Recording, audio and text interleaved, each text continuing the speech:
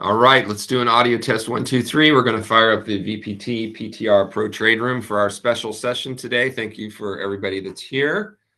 Appreciate those that know.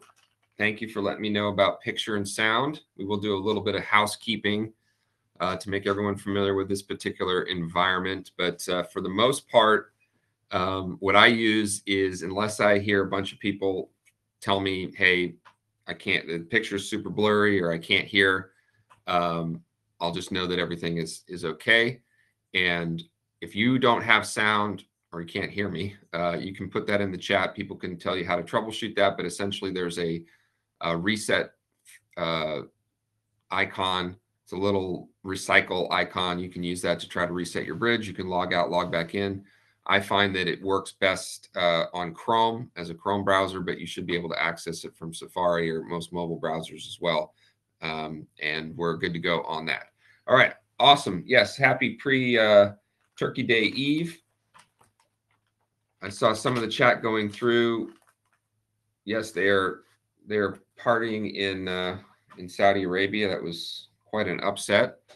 So those of you that are football, soccer fans, whatever, yes, this World Cup should. Uh, that was a wild way to start it. All right.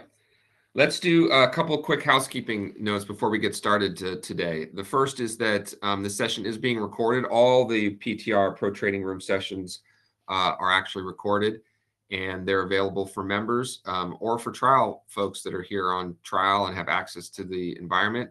Uh, you get to the recording by clicking the three lines in the upper left-hand uh, corner of the screen and you go to archives recording. So I will be sending out this recording today, but it, um, it is being recorded. And while you're in here, uh, you're welcome. This password will work for the rest of the week. The room is closed tomorrow and Friday, but you can come in anytime and you can right click and save uh, past recordings if you'd like, uh, or you could just watch them directly in a browser. So it's pretty easy. And this will be available as soon as the session uh, is over if you're able, it um, is this will go about 90 minutes today. If you're able to stay till the very end, that would be great. I will be talking about some of my Black Friday deals.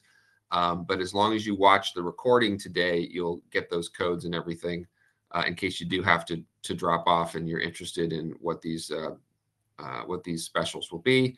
Uh, I've tried to make them as compelling as I possibly could, um, and I think they're they're pretty compelling. So stick around for that if if you are able. If not, you can watch the recording for that and be sure you're aware because uh, I'm just going to run those literally from today until uh, until Friday. Um, all right. The other thing is that uh, if you have questions, we're just at uh, about at capacity, but that's fine. That's fantastic. I think this is almost the most people we've ever had in here. Uh, we're 192, so it'll be a capacity of 200.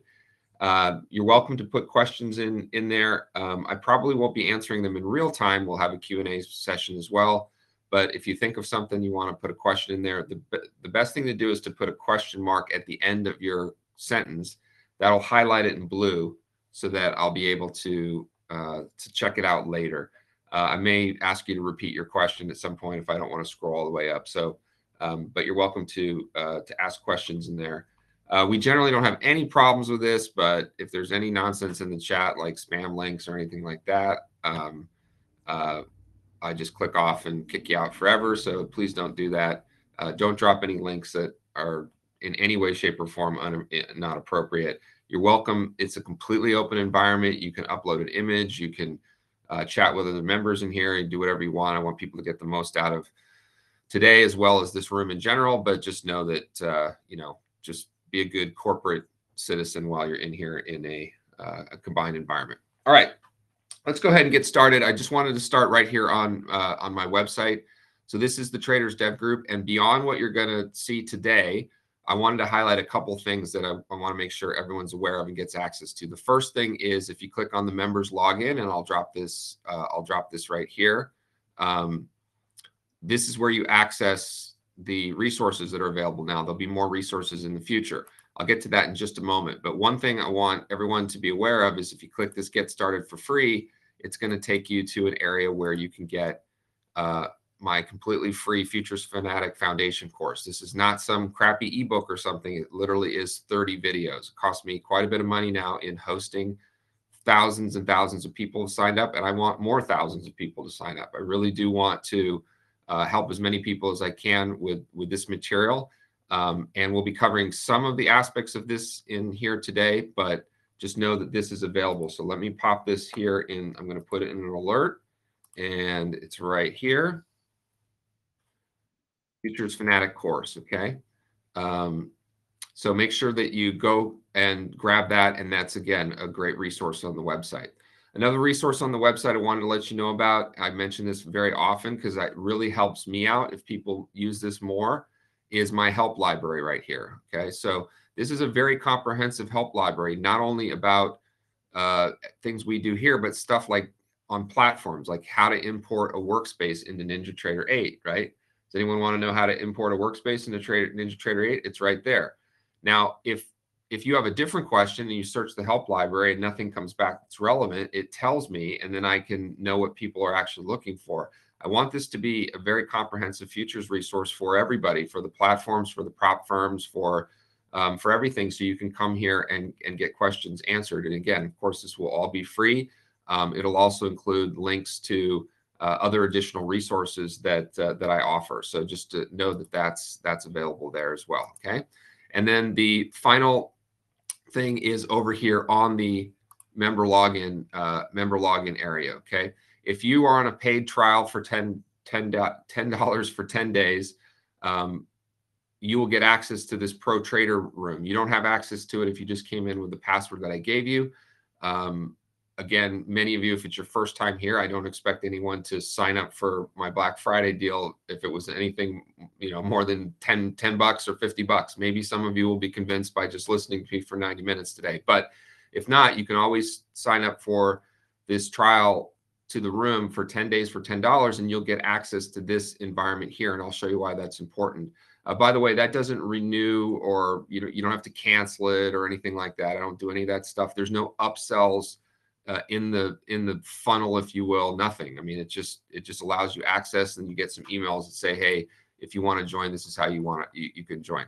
Um, all right. So in here, I want to point out two resources, and I'm going to drop them in the uh, in the area right here for just for today. And these are the NinjaTrader Futures Fanatic cheat sheet and the Trading View Indicators Quick Hit Guide. In other words, this is how you will be able to set up uh, your platform, one of those two platforms, and I'll talk about Tradovate uh, in just a little bit. But these are the primary platforms that we use in here: NinjaTrader, Trading View, and Tradovate. Okay, uh, we may add some more in the future. I trade on a bunch of other platforms as well.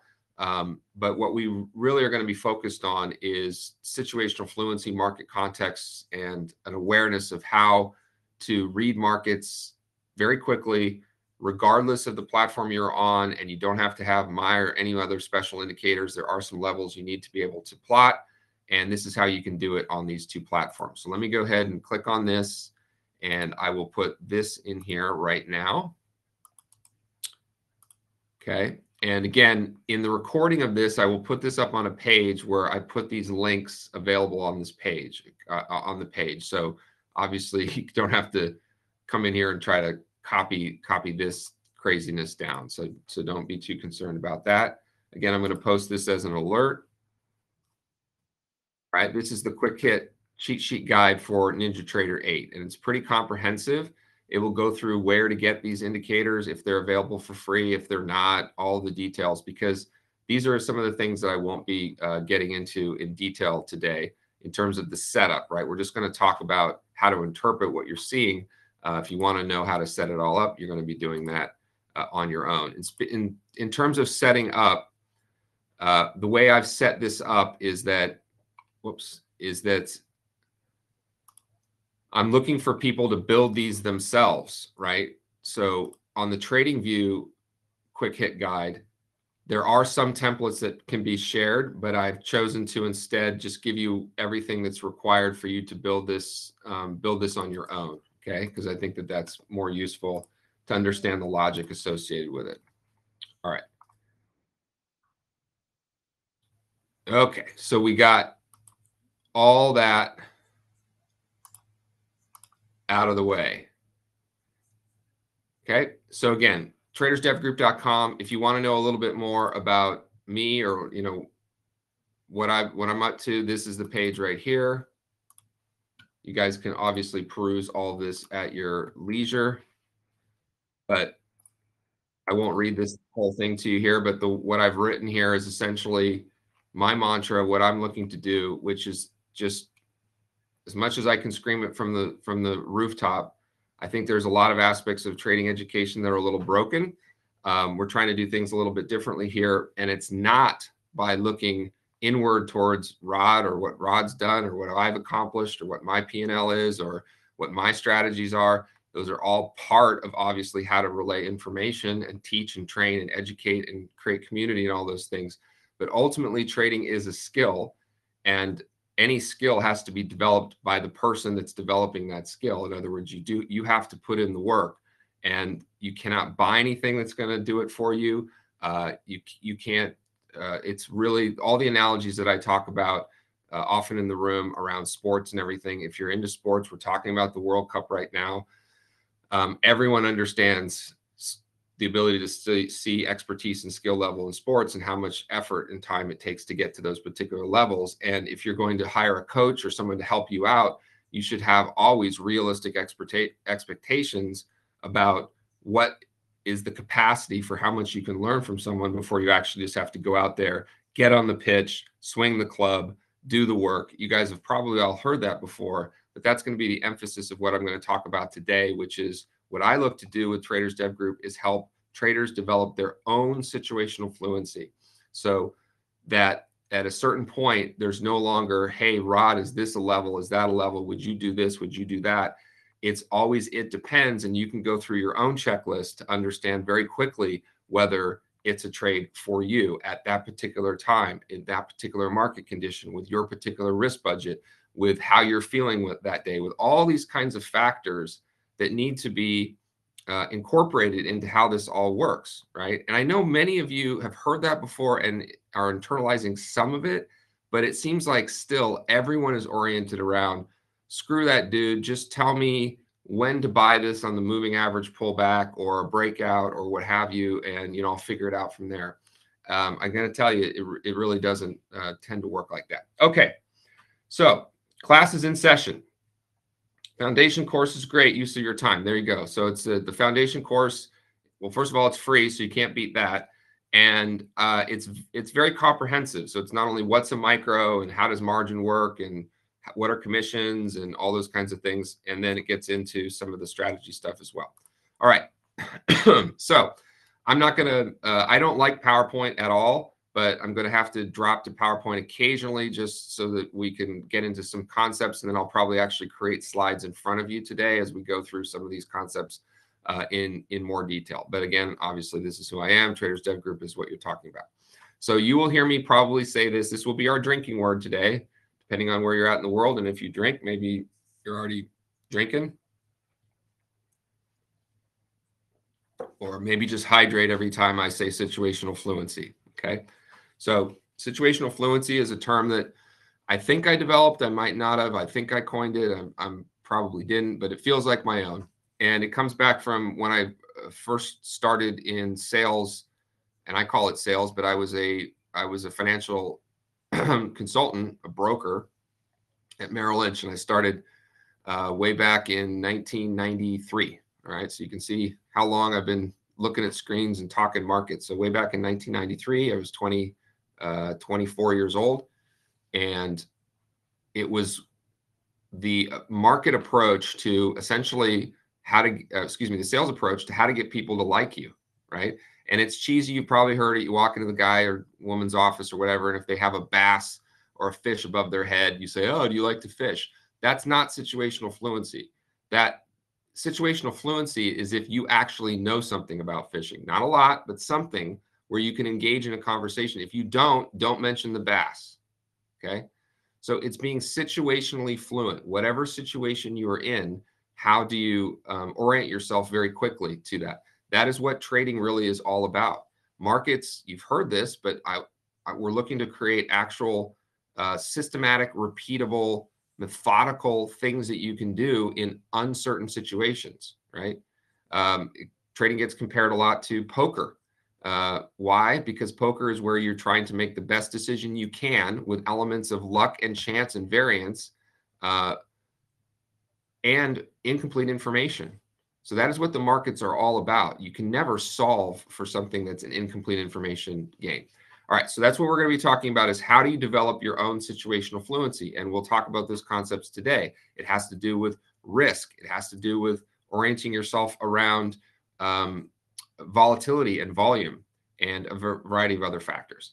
So here is all that trading is, okay? And it doesn't matter whether you're going to use any of my strategies or really take hold, you know, anything that I say today, if it doesn't take hold, that's that's fine, but these two things don't change. High probability entries and risk management.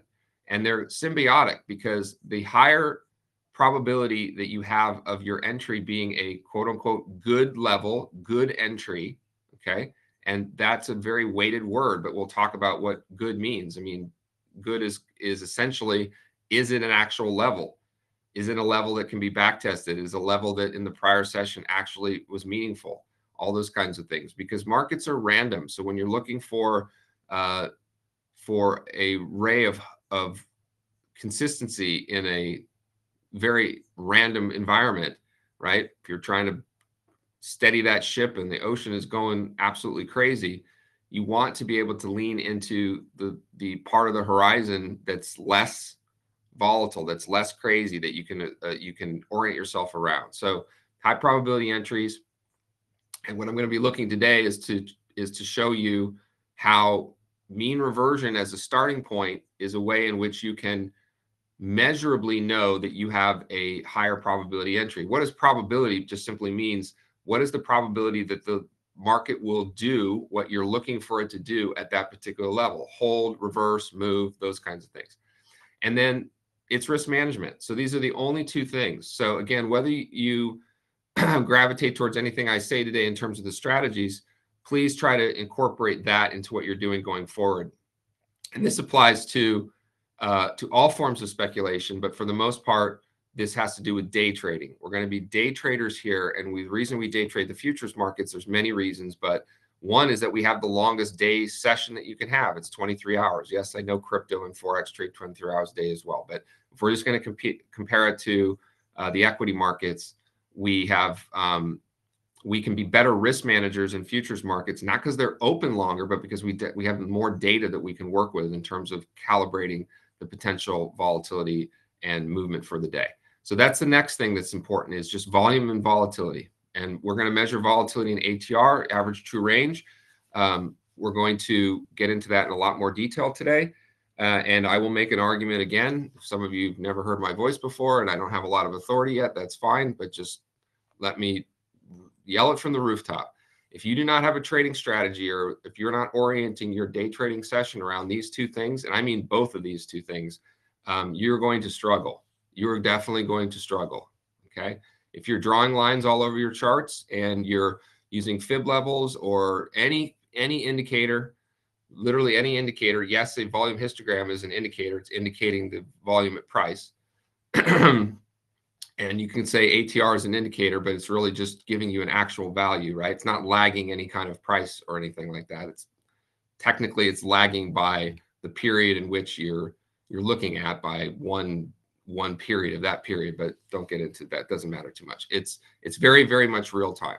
So we're going to talk about volume and volatility. That's what my trading strategies are all about. And th these two things will allow you to very, very quickly orient yourself around what is happening in the markets. And then just uh, dovetailing on this concept of risk management, thinking risk first. Okay. The answer to almost all the questions that you might have today, many questions that you might have today, will be it depends on your risk budget and we're going to talk about the importance of risk budget. That's where we're really going to start. Okay. So should I or could I or can I or is this a level or these types of things? Well, what is your risk budget? Are you up or are you down on the day? This concept of not trading your P&L and not making decisions based on um, how many chips you have left or that kind of it's just insane it's like playing a video game where you have three lives and you're moving through and a level and making decisions and you got to a part point in the game where you're not familiar with that that yet and you know you can go kamikaze or whatever because you have two lives left but if you only have one life left you have to make a different decision can I get a one in the chat if anyone plays poker or tournament poker? Like just just real. I mean, I'm five or five or ten people. You know, if you play. Okay, so if you play poker, and especially if you understand tournament poker, right? Cash game and tournament poker, it's technically the same game. It's the same rules, right? It's it's not like in a tournament a flush beats uh, a full house or vice versa or anything like that. So if you're not familiar with poker at all, there's like tournament poker where you pay like a hundred dollars and you get a certain amount of chips. And when you're out of chips, you're out. You can't buy more chips. You're out. If you didn't make it to the point where you're going to get paid, uh, you can't rebuy, right? Whereas a cash session, you can buy as much as you want. Trading is tournament poker. It's not cash poker. Okay. Now, for some of you might say, hey, it's a cash game. I got, uh, I just lost a thousand bucks. I got another thousand bucks. I got another thousand bucks. I got another thousand bucks. I'm playing cash poker in the markets. No, it's tournament. Especially as a day trader, you need to make decisions based on how many chips you have left. There are times where you would be folding pocket kings, pocket aces. I mean, it's an extreme example, but you where it would be the better decision to fold the most premium hand in all of poker because your chip stack is such that it's going to be worth a heck of a lot more if, if, you hold every one of those chips depending on the situation that's happening in the tournament at the time. So poker players will will absolutely understand that. I'll try to think of some other analogies. There are many many many many analogies in life where the answer is always it depends. There is no um, no standard answer however the hashtag think risk first is the way to always start that checklist okay can i buy developing value area low at five minutes into the session on the NASDAQ uh, with a $200 risk budget? It depends, right? Let's go through all the various uh, decisions. And by the way, this won't be uh, uh like a sticky note that you have to have up on your, your screen. Uh, this will be intuitive at, at a very quick pace for many of you if you just incorporate a lot of this kind of stuff. Okay, then when, if we're going to think risk first, it's the bunny slopes versus the black diamonds. Okay. And how long can you stay on the bunny slopes, you know, and continue to hone your skills and get to the point where you there's you just cannot fall down on the bunny slopes right and we're going to refer to that as essentially and but at some point you need to challenge yourself right i'm not saying you stay you trade ridiculously small and stay on the bunny slopes forever. Of course, no. you want to be making some progress. But in trading, so many of you, and now with all these prop programs where you know your your skin in the game in terms of actual dollars you're spending for access to the program is so low. A lot of people are acting like total bozos. They act like total bozos all the time, um, and they make excuses for why they're why they're acting like total uh, total bozos. And they're skiing all over the black diamonds before they're they even have the ability to stand up on the on the bunny slopes without falling down all right? So the approach here is not how long rod until i can make $100 a day or $500 a week or quit my job or all those kinds of things. No we're going to i'm sure you've heard elsewhere that that's not the right way to look at it but i'm going to tell you it's even it's it's absolutely not the right way. How many days can you go actively day trading at whatever period of time for whatever um, amount of time that you can you can put into this uh, skill development exercise without losing more than your risk budget? Can you string together 10 days 20 days a month six months and we'll talk about risk budgets in just a little bit without exceeding your, your daily risk budget when you can start to do that the profits and all these other things will take care of themselves many of you have probably heard this, and many of you know it's it is all about staying in the game and protecting your actual capital and your emotional capital. And the more volatile your P&L, the more trades you're doing, the more you're jumping from one thing to another, the more uncertainty you have in general that you're not seeing any kind of progress or you don't know what to measure or you're measuring your progress based on profit and not based on how how often you don't have big red days that's how you stay on the bunny slopes to the point where you just know that while you're on the bunny slopes you won't fall down. You get to that point then you can move up in in uh, this analogies could go on forever and we could figure out other analogies as well but i think you guys got what i'm getting at there Okay, um, let's go ahead and go through some of these concepts here that we're going to be talking about. So the first thing that I want to mention, yeah, I love tournaments. Okay, so the first thing that I want to mention is our risk budget. So I'm actually just going to, let me just do this. I should have thought a little bit more about how I'm going to do this, but I'll just go with a new slide. There we go. All right, so risk budget. Okay. So what is a risk budget? Okay.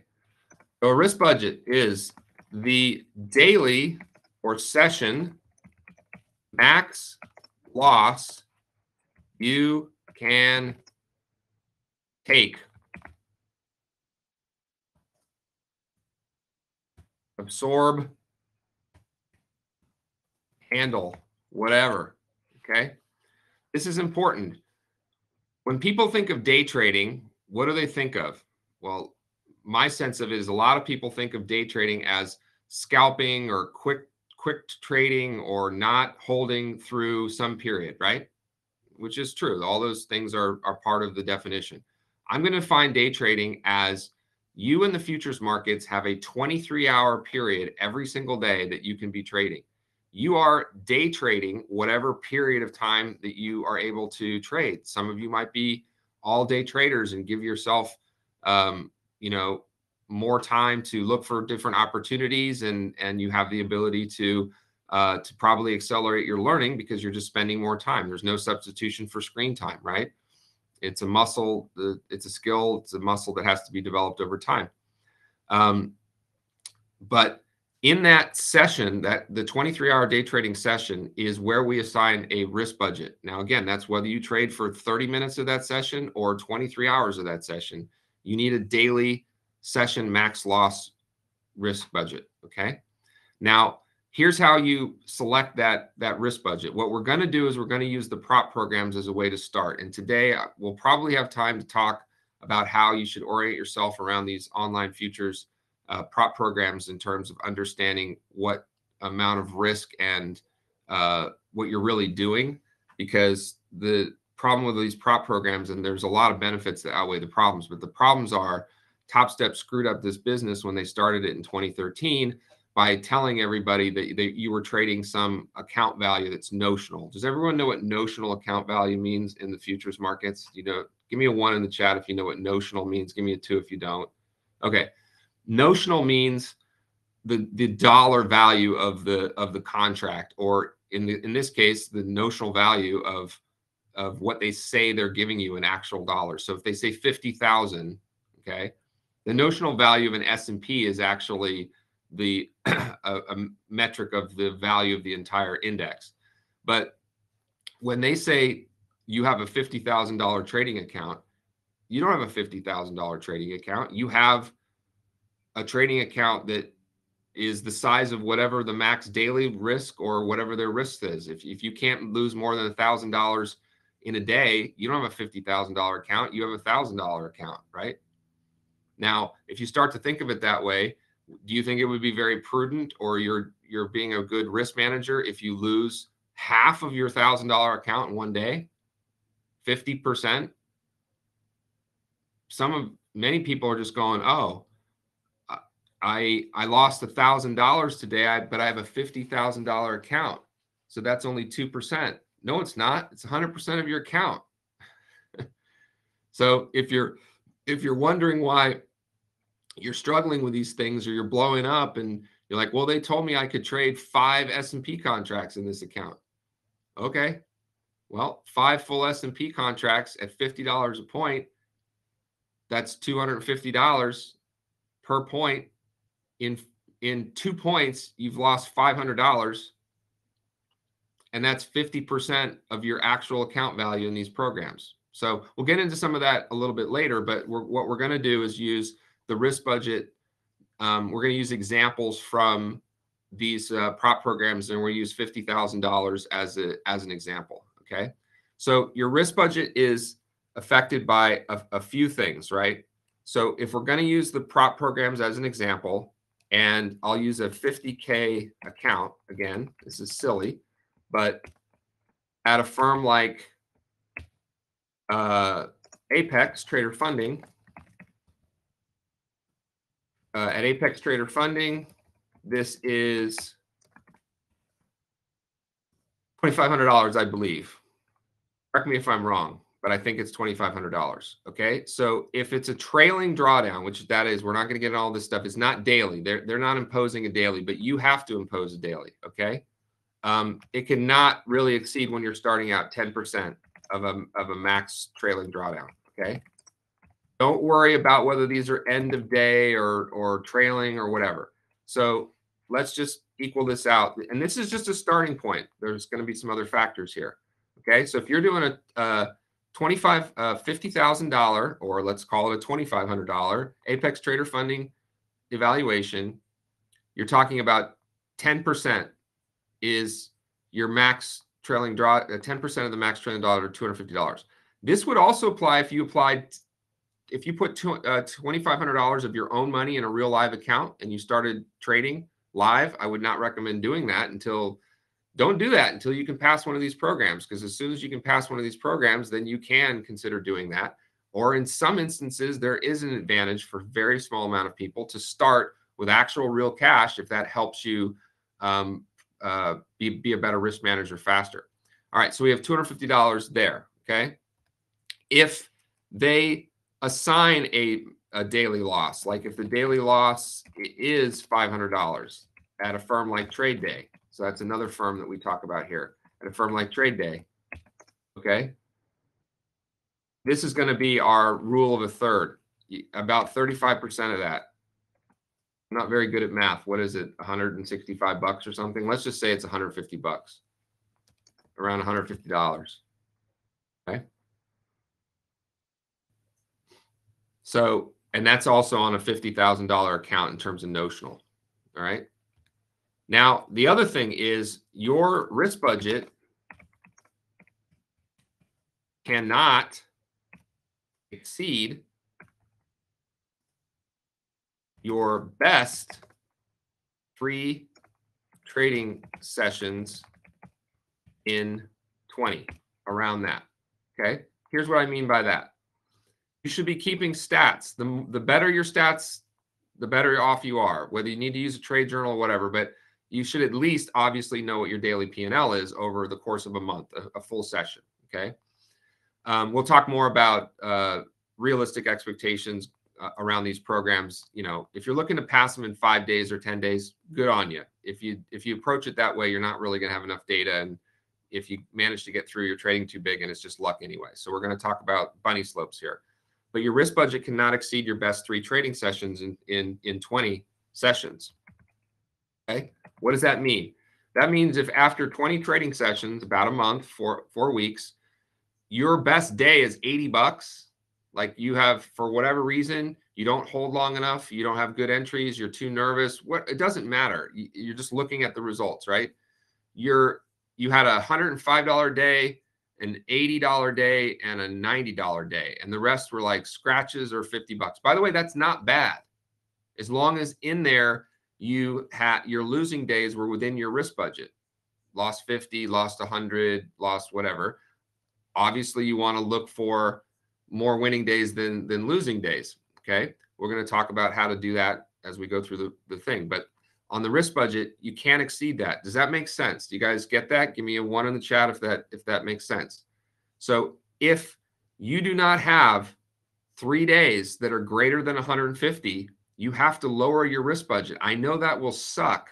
Okay. But it's just simple math. And it's also going to preserve your emotional capital because the worst thing that happens to traders is just a couple quote unquote bad days. And for us, a bad day is anything that exceeds a risk budget. If you didn't exceed a risk budget, you're doing your job. You pushed the close button, you got out of the, the, that last trade, you did everything you need to do. If you do that and you follow some of the stuff that I'll be talking about today and then build on it going forward, I'm, t- I'm this might sound crazy, but if you are trading a strategy that has the capacity for you to have even two max losing days in a row, it's a bet. It's not a strategy for you. Okay. And I, I, this is some of people don't believe this, but like if, if I did what I do in this room at the size and, and, and how small I stay, I, I would never have a losing day. I could never, ever, literally never lose money. But that's because I'm on the bunny slopes and I'm not challenging myself. I'm not suggesting that's what needs to happen. Of course, I lose. I lose quite a bit, but I lose well within my defined risk budget. I have not had a max losing day in, I can't even remember, right? Now I have a lot of accounts and I have a lot of stuff going on.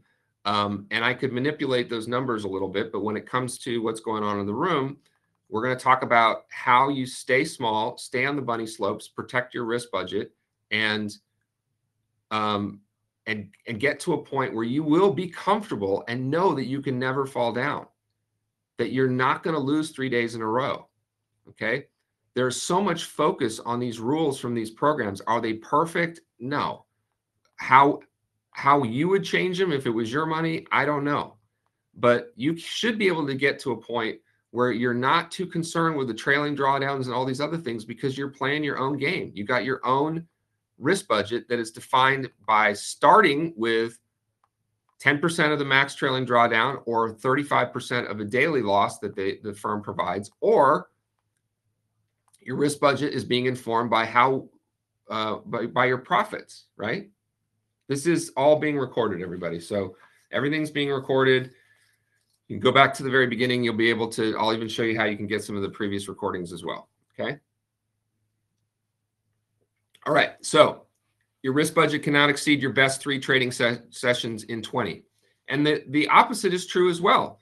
If you trade for an entire month and you have had, again, with consistency, not because you traded bigger one day or you added size or all these other kinds of things, we're probably won't be getting into all that today. It just needs to be consistent and consistent with um, with the sizing that's appropriate for the instrument, the time of day, and what you're looking to accomplish. We'll get into more of that as we go through the pr- uh, presentation. But you cannot exceed your, your best three trading days. But if you did put up some bigger numbers and you have larger uh, profitable days and manageable losing days, then you earn the right to increase your risk, right?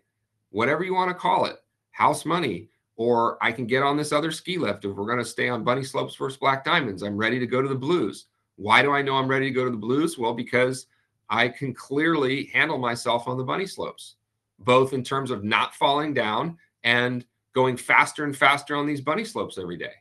I mean, look, I'm just kicking ass on these bunny slopes, and and I I, I had six days where I exceeded my risk budget by 50 bucks or something like that. Well, now you can take on more risk. All right. Okay. So any questions that I can answer in real time about about risk budget? Okay. There is no way around this you have if you are a day trade any kind of trading you have got to have a risk budget. Why? Okay is because every decision we're going to talk about is is informed by your risk budget. Can you take that level? Can you campaign around that price? Can you trade both the nasdaq and the s&p on the same day? Can you do all these things? It depends on the risk budget. The other thing is that you're a day trader.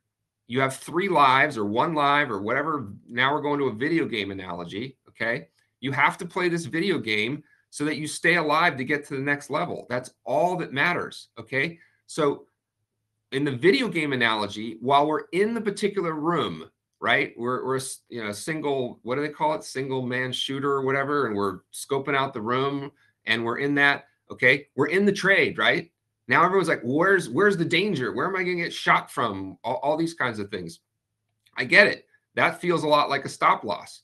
But your stop loss is informed by how many lives you have left. It really is. we don't want to be myopic and look at everything on a trade by trade basis. And I risk this to make this. And we'll, as we go through the presentation, I'll talk more about stops um, because they're important. They're, they're a risk management tool. But ultimately, you have one stop every day. Does everyone get this? You have one stop, and that is exit at market, close everything when you are getting anywhere close to this number. It could have happened all in one trade. It could have been a series of paper cuts. It doesn't matter. Okay. But you have got to be able to have the discipline, whatever, you know, all this kind of stuff. I'm, I'm in my head. I need more, I need more uh, help on my psychology. No, you don't. No, you don't. You, you got to start with more help on your on your entries, your risk management, and your trade management, not not your psychology. Now, if you are completely incapable of ever hitting that close button and you let the P&L on your screen just move through, move through. I'm not a psychiatrist or a psychologist or a head shrink or anything like that, nor do I think anyone can help you. Day trading may not be for you, and that's fine too. How fast can you just, you know, stop beating your head against the wall? Not everyone can do this because not everyone is capable of of feeling the amount of pain they need to feel with loss many of you might have somewhat gotten comfortable with just trading like a drunk monkey in some of these programs because it's not real, right? Oh, it just cost me a hundred bucks to reset. Or this account just cost me $35 now because Apex is going to give me an account for 80% off forever, which is great, by the way. That's a great deal with data and everything else, plus the opportunity. But if you don't treat it like it's an actual $2,500, you got no chance. You might squeak through one of the programs you probably will blow those up and you probably won't take a payout. Okay. All right. So there we go on risk budget. That's uh, that's the important aspect of that. All right. Now let's get into uh, kind of day trading defined. Okay. And I'm going to bring over a market analyzer right here. This is the market analyzer on um, on uh, NinjaTrader. Okay. If you want this entire market analyzer the way it looks on NinjaTrader, you can get it by going to the uh, the room drive in this environment right here. Okay, there's a folder, an icon that looks like a folder. Does everyone see that? Okay. If you're watching on replay, you won't be able to see this. Okay, but there's a there's an icon that looks like a folder. If you don't see it, give me a two in the chat. If you don't see it, if I don't see any twos, everyone should be able to find it. Okay. It's a little folder. You click on it. It's called a room drive. And in that room drive, you will see a bunch of different files and stuff in there. Okay. The one I want you to uh, to look for is called primary XML or primary laptop.xml. Okay. Bobby didn't see it. It's an icon in the top of the screen in your browser. Obviously in the in the room here, not, you know, it's not in your address bar or anything. Look for primary laptop.xml or primary.xml. And you can import this and get access to it for for for free. Okay. Uh, more on that later. But again, if you look back at the beginning, I show you how you can uh, look up in the help library how to import anything you want, and that will get you this. Now, the column I want to talk about today is ATR right here, seven day ATR. Okay. So if you grab it here, it's going to calculate it for you. You can calculate this on any platform that you like, but we want to use the 23 hour session or the total, set it to 24 by 5 or 23. You want the total session, not extended trading hours, not regular trading hour. You want the instrument trading sessions or something that is capturing the entire uh, session, which is a 23 hour session. So here's what day trading is in the futures markets it's from 6 p.m. Eastern Standard Time. Okay, that's when the markets open most days of the week, including on Sunday night. So they open at Sunday night at 6 p.m. Eastern Standard Time. Okay, and they will trade all the way through 5 p.m. Eastern Standard Time the following day. And then they're just closed for one hour. Okay, that's 23 hours. We want to be measuring the volatility Okay. And what is volatility, by the way, gang? What is volatility? No, it's not price action. When when when we say volatility, what what what do you think of? Yeah, range, delta, change, range. It's the range. So it's the it's the range over time. So the ATR is the average true range. You might have heard this before. There's also average daily range. And there's you know quite a few people that talk about the ATR when it applies to stocks. I think that's a little silly because you're only working with a six and a half hour session, you know, 13, 30 minute bars, 390 minutes versus we have a lot more time in the futures markets. Um, so the ATR is how we're going to measure volatility. Okay. And the way to interpret what you're seeing here is, uh, everyone see this number 75? Okay. So that, that, that's 75 points. Okay. Now, just for frame of reference, that's come down from about 115 just in the last two, two, three weeks. It was up at 115 two weeks ago, and now it's down to 75. Okay. So why is that important? Well, it's important for a lot of reasons because what I talk about in the room all the time is if you were to get into a car and you had no sense of speed yourself, and it's hard to know how fast you're going in a car, but some people can have better feel. But let's say you had no feel, you could be going a thousand miles an hour or zero. You wouldn't really know by how fast things are are moving outside, and you have no speedometer. Probably not a good idea to get on the road, especially when there's other traffic and things like that. Right. Now, I think you guys all understand that analogy, but it's a really important one. All right. Without you understanding what the range is for the whole, we're, again, we're day traders. Okay. Now, you might say, well, if I trade on a 30 minute bar and I only trade for 45 minutes a day, why don't I look at what the ATR is for that period of time? That's kind of cool. You might think of doing that. Okay. I don't have a problem with that. At least you're trying to measure your speedometer. But we're going to go top down here right? And top down the better thing to do is to is to look at what is the expected range or volatility for that instrument for an entire 23 hour session. And that's what you're seeing right here 75 okay? Now the next thing we can do is talk about opportunity or risk. But let's think of it in terms of risk or opportunity. I don't care. We're just going to do some simple math. What is the the available amount of money to potentially win or lose on a single MES contract with a 75 ATR? This is probably going to be answered by a, you're not seeing no table to see. Everyone should see what's in the, everyone should be able to see the market analyzer right now. It's on the screen. I can see it, right?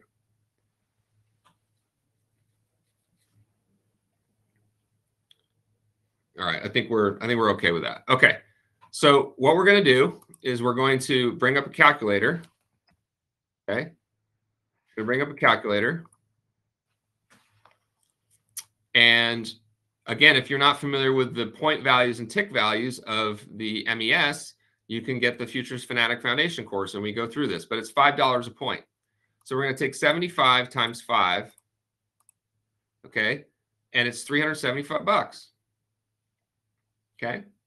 Now, can anyone ever buy the absolute top and sell the absolute bottom or vice versa? You know, or sell the absolute top and buy the absolute bottom. You get what I'm saying, right? Of course not, right? But that is on a dollar value, the amount of dollars that are available for you to scoop up in current volatility. Now, when it's at 100, it jumps up to $500, right?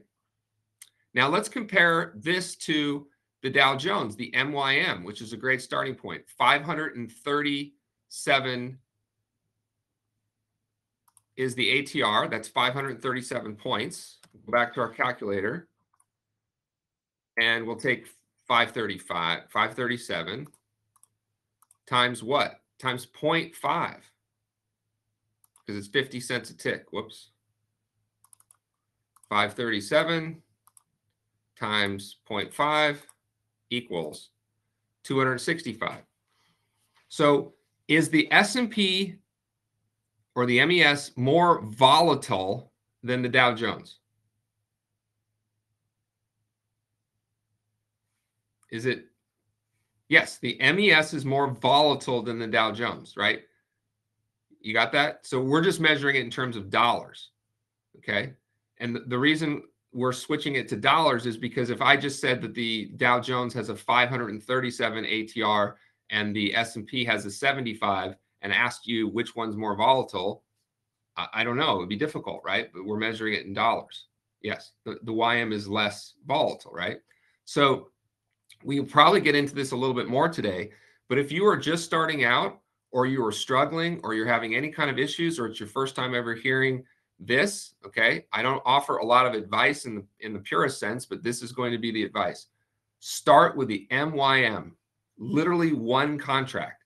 Because as you can see, if your risk budget was $200 for the day and you were a one MYM contract trader at a high probability entry point, okay, your possibility of blowing up or violating your whole risk budget is very, very low, right? If your risk budget's 200 and the entire range for the Dow is 260, 68, in other words, if you sold the absolute lowest tick of the day, got short on the lowest tick of the day, and and covered on the absolute highest tick of the day, okay, if you step did everything you possibly could do wrong, it would still be very, very difficult for you to exceed your risk budget with that particular sizing without any stops, no, no stops at all, no risk management at all. You're just basically in the markets at the right places. Okay, so there was a question about how it's calculated. It is the seven day period ATR with the instrument set to instrument settings on NinjaTrader. Okay.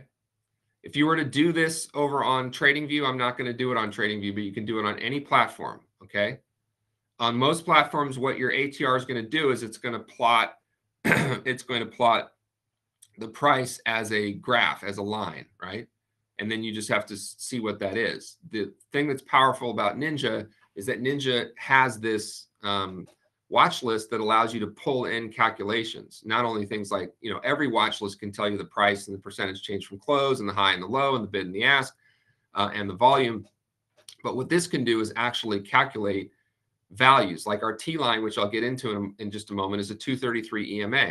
So I can just look here and know that the 233 EMA is at 39.75. Okay. And the price is at, at 40.28. We're having a, a, continuation day today. So um, we're above this T line value here. But this is the ATR is seven day ATR, and, and, these are the measurements, right? So it's 75 for the MES, it's 540 for about 540 for the MYM, it's uh, 305 for the for the Nasdaq, and it's and it's um, 42 for the Russell. So let's let's see, is the Nasdaq more or less volatile than the S&P? Well, go to your calculator, take 305 times 2 equals 610. Remember, we were 375 with the S&P. We were around 270 with the Dow, and we're 610 with the NASDAQ. Okay. Now, if you were to um, want to start on this path towards situational fluency, this is where we're starting. Start to orient yourself around risk. What is the range? What is that range in dollars? Because that's what I'm trading at, right? You know, you get what I'm saying. Some of you might be trading in your local currency or convert back to euro. It doesn't matter. We're measuring volatility by a 70 ATR in terms of the dollar. So the Nasdaq is more volatile right now than the S&P. The S&P is more volatile than the Dow Jones.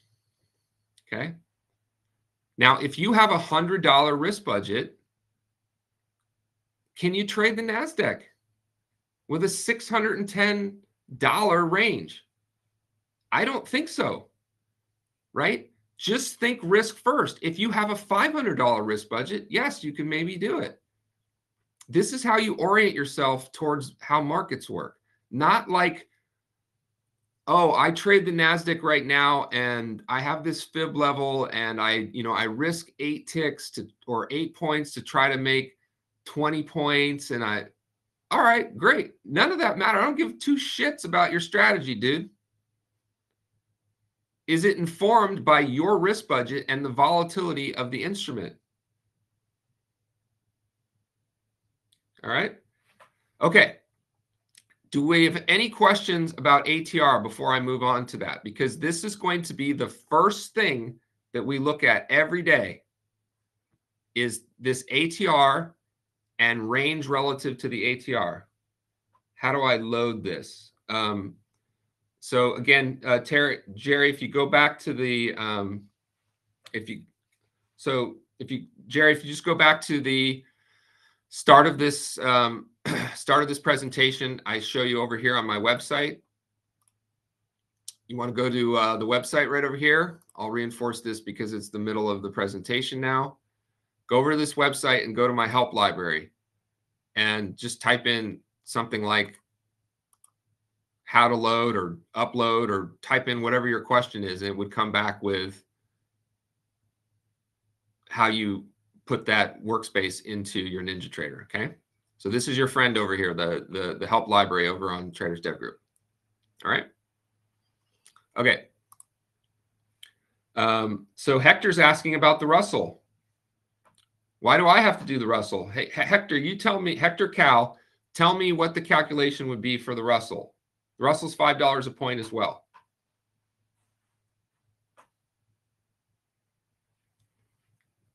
Or someone put in there what what what's five times 40, 43? I mean, you guys can five times 42, yeah. So 215. So so right now, the Russell is the least volatile of all the instruments, which is a little wacky because I can never make money on the Russell and for you guys who are poker players, we talk about the Russell being the pot limit Omaha of of of trading. At least what I always say. It's like it looked good on the flop, but then it all went to shit on the turn and river. But in terms of volatility, it's it's it's low. What's crude oil right now on the MCL? Right on the MCL, three 381 times a dollar, right? 381 bucks. So crude oil is less volatile than the NASDAQ on the MCL, right? So you guys see how you do this exercise, right? Okay, so seven day ATR, you got to know how fast you're going, okay? Everything that I do and everything that I teach and train on, and what I highly recommend everybody try to incorporate in is you have got to use ATR. You're trading dynamic markets that change all, all the time. So everything is around ATR. Now, when I refer to ATR, I use the term one ATR or 100% ATR interchangeably.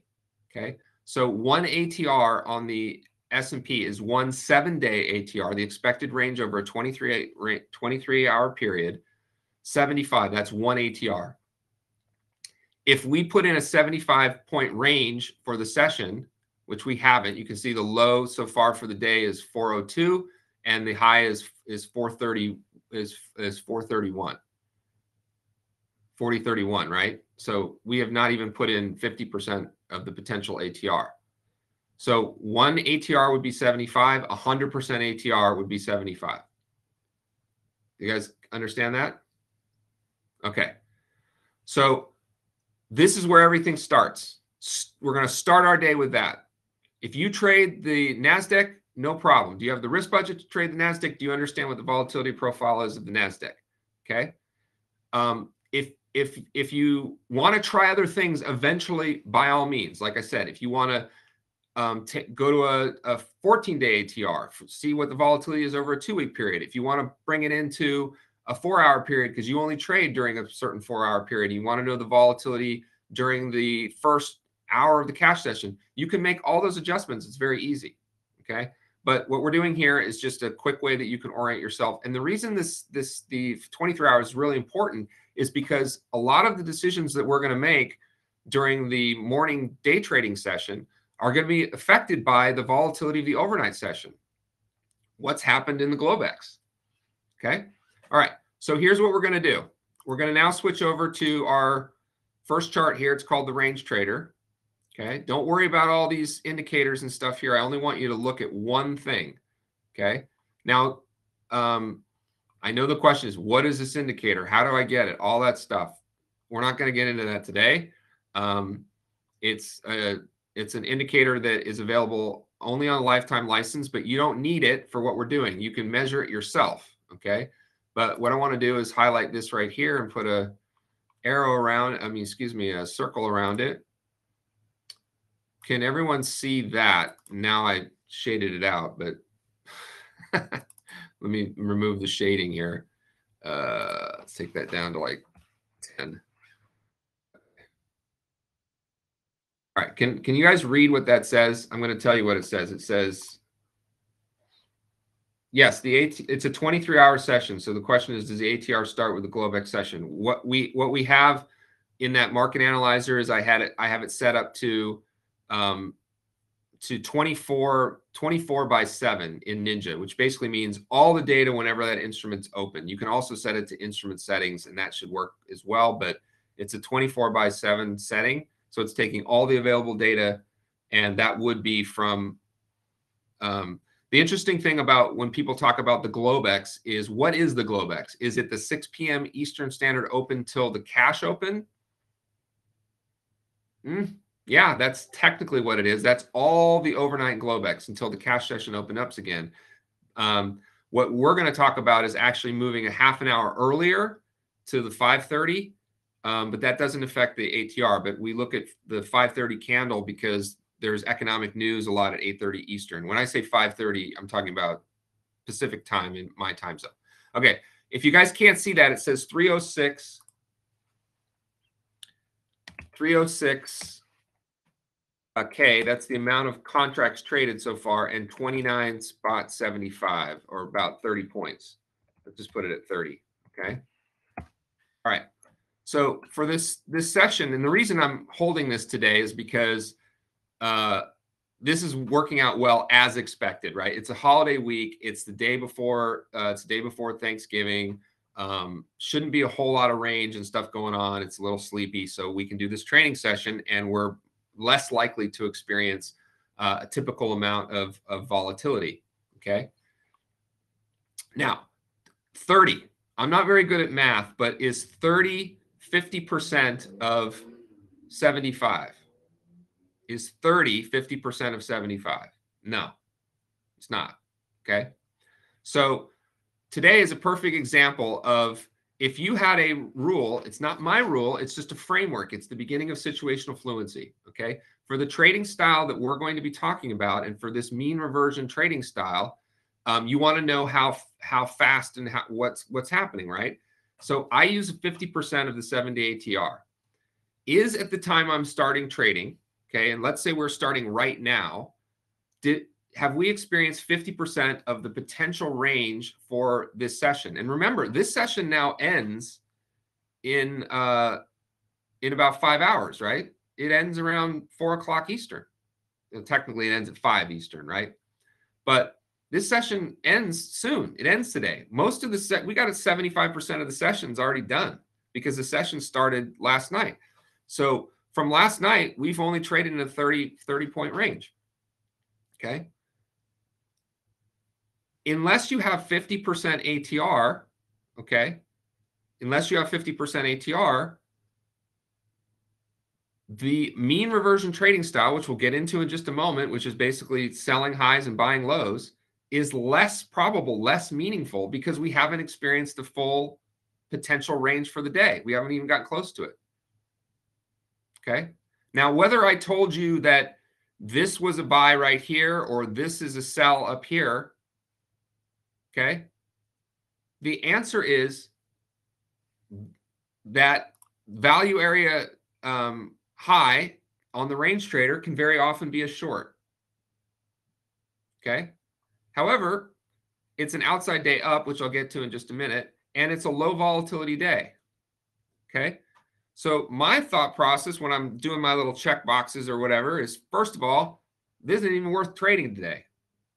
And it's certainly not worth trading the range trader at extreme levels, which I'll get into the setups and signals in a little bit. This, today is not about teaching you these two strategies. It's important, okay? It's not about teaching you these two strategies. You want to learn these two strategies? Um, uh, be great if you just have a leap of faith and decide to become a member today, but you can always um, stick around for a trial. And we're here every single day and you'll learn these strategies. But today we're talking about situational fluency and orienting yourself around decisions that you sh you should be making regardless of, of what your trading style is. But especially if your trading style is around looking for reversals or mean reversion, then we have to know what the volatility is, right? So I think you guys all answered. By the way, that's great. You guys, if any members want to pop up their screenshots or if you see a question that I haven't answered and you know the answer to it, um, if you, um, we have about 80 members in here today, which is great. So members, please, uh, I know that for some of you, this is, this is not helpful, right? Because you guys are well beyond a lot of this, but I appreciate you allowing newer people to uh, understand some of these concepts. Okay, so 29, 30 points is not 50% ATR. If I don't have 50% ATR, I essentially don't want to be trading the range trader. You got it? So that right away just allows me to know what what's going on, how fast the car's driving. And when I say I don't, that means I don't. It doesn't mean you don't. It's it's not a rule. It's a framework. It's maybe you actually like driving in a boring slow car and you are okay with taking lower probability trades because you're just going to size down, right? You're going to go through this filter, this checklist. Oh, I know that this car and and things traffic's moving slowly today, but I, you know, I I'm going to sell this val value area high right in front of R1. I'm going to short right here, looking for a move back to prior session, uh, prior sessions high or VPOC. No chance. It, it's a 50-50 shot. It's a which is fine. Every trade's a 50-50 shot. But you can make this better than a 50-50 shot if price was already at 75 points above VPOC or a certain particular level. If it already had put in 100% of its expected range, then the probability of extending beyond that is lower. Capiche? Do we got it? Yep. Okay. Cool. Now let's look at it on the NASDAQ. I won't highlight it. What is the uh, range so far for the session in the NASDAQ? What's the what's the range in point point value? 144, right. So it's 144. Do you guys remember what the ATR was on the NASDAQ? What what what's one ATR on the Nasdaq? No, no, six ten was the was the dollar value of something else. I know this will get a little tricky. All right, we got a lot of guesses. I don't. I think I think one's correct. I believe three hundred five is correct. Let's look. Whoops, I didn't mean to minimize that. Let me put this chart back up. There we go. Um,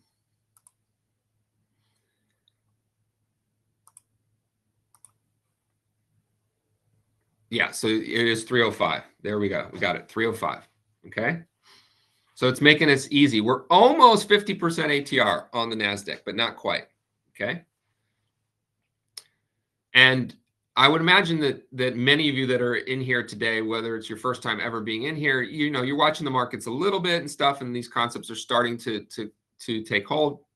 Most days, by this time, we will see more than 50% ATR range especially in the Nasdaq most days. Today is is a quieter day. We know why it's a quieter day. So we are now at almost an hour into the cash trading session and for the entire period from last night at 6 p.m. Eastern all the way through to right now at 10:30 Eastern, we still have not put in 50% ATR. Okay? Now can can you see if you start there and you know how fast the car is going today, you can just even make a decision as to whether it's worth worth it for you to trade, right? I know this might be overly simplified, but it really is. And on the flip side, if we had a ATR on the Dow of a thousand, or the S&P was up at 125, and that might be too fast for some folks until you get to the absolute best possible uh, entries for your particular trading strategy, which I'll get into in just a minute. Okay. All right. So that's it on on ATR, and I'll I'll go back to it a, a little bit um, more as we go through the session today. But let's stay on the S&P for our examples. Okay. So we know what the ATR is, and we know what the current range is. You can look at this number at any time. Now, if you don't have this indicator, all you have to do is make sure you have the, the session times correct, right? All you got to do is have the session times correct and then just measure. Today it's making it pretty easy, right? You can just come in here and measure. Uh, take your little ruler and you basically just measure. Okay, around 30, right? That's the that's the ATR so far in the uh, in the um, in the MES. Okay. All right. Now let's get into trend. Okay. This is, by the way, a 30 minute, and this is the only time frame I use for day trading on on a on a candlestick bar. Okay. This is the I should say this is the highest time frame that I use. Other than that, we're going to get into uh, the stay in your lane in just a little bit. Okay. So it's a 30 minute bar. Why a 30 minute bar? Lots of reasons, but 30 minute bars are where it kind of all started for TPO time price opportunity and what they were doing when they first started charting in the pits and and 30 minute bars are still used for a lot of algorithms even in, in the stock market as well. Um, I have no problem if you want to apply a volume profile to a 60 minute or if you want to do some top down analysis. Uh, I won't get into a lot of that today, but I'm here to help you simplify your life, not make more work for yourself. So if you if you are of the belief that you need to come in and look at a daily, weekly, monthly, uh, four hour, eight hour, you know, two hour in the instrument you're trading or the stock that you're trading, whatever, every day, that just seems like a hell of a lot of work to me when you're a day trader. All right. And we're going to use the volume profile and orient ourselves around 30 minute bars on the range trader. All right.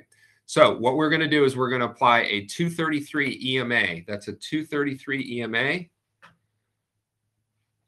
233 EMA. That's an exponential moving average to a 30 minute chart. Everyone should know how to do that, right? I don't, if it doesn't matter what charting package you're on, apply a 233 EMA. Okay. Yeah. So we're going to apply a 233 EMA and that's going to give us this thing called the T line. Okay. So the T line is equals a 233 EMA. Okay. Can you apply it to a five minute? Yes, you can. I mean, obviously, you can apply it to whatever you want. Um, but it's meant to be a simple trend filter for this 30 minute. All right. Now, what do we do with the T line? The T line, all what we do with the T line is it is the way that we orient ourselves very quickly to trend. Okay. This is not a trend trading strategy that we're going to be talking about here. This is a mean reversion trading strategy for the most part. However, you can trend trade it as well when when uh, when it's appropriate, which would be a pullback all the way back to the T line. The T line would be an entry there at 39.75. I doubt we're, we're going to see 39.75 today. Okay. So the first thing we do is we orient ourselves around what is the volatility? How fast is this car going? The next thing is what is the what is the trend? The biggest challenge that I see with so many traders is they'll say things like, why are you shorting or why are you doing this or how do i know today is clearly a trend this you know it's trending okay trending what? On what time frame over what period? For the last 25 minutes? Since the open? All night? Okay.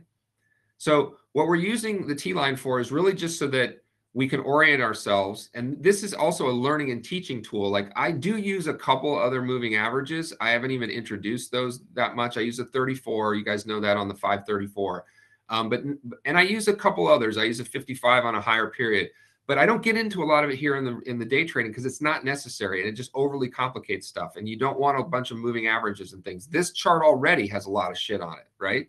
There's a lot of stuff already on this chart. Okay, those of you that are in this sort of pure price action camp, which I was in in a long time, like trade naked. You know, my dad used to say all men are created equal in a very cold pool. Trade naked if you'd like. All right, we're um, hopefully this is engaging, but it, uh, I get going and I feel like I don't cover much ground, uh, and we're we only have like a half an hour left. So maybe we'll go a little longer if people are finding it useful. Um, I could definitely uh, talk on this for for longer, but let me get through these concepts a little quicker. So we got a 233 EMA, um, and this is going to establish our trend.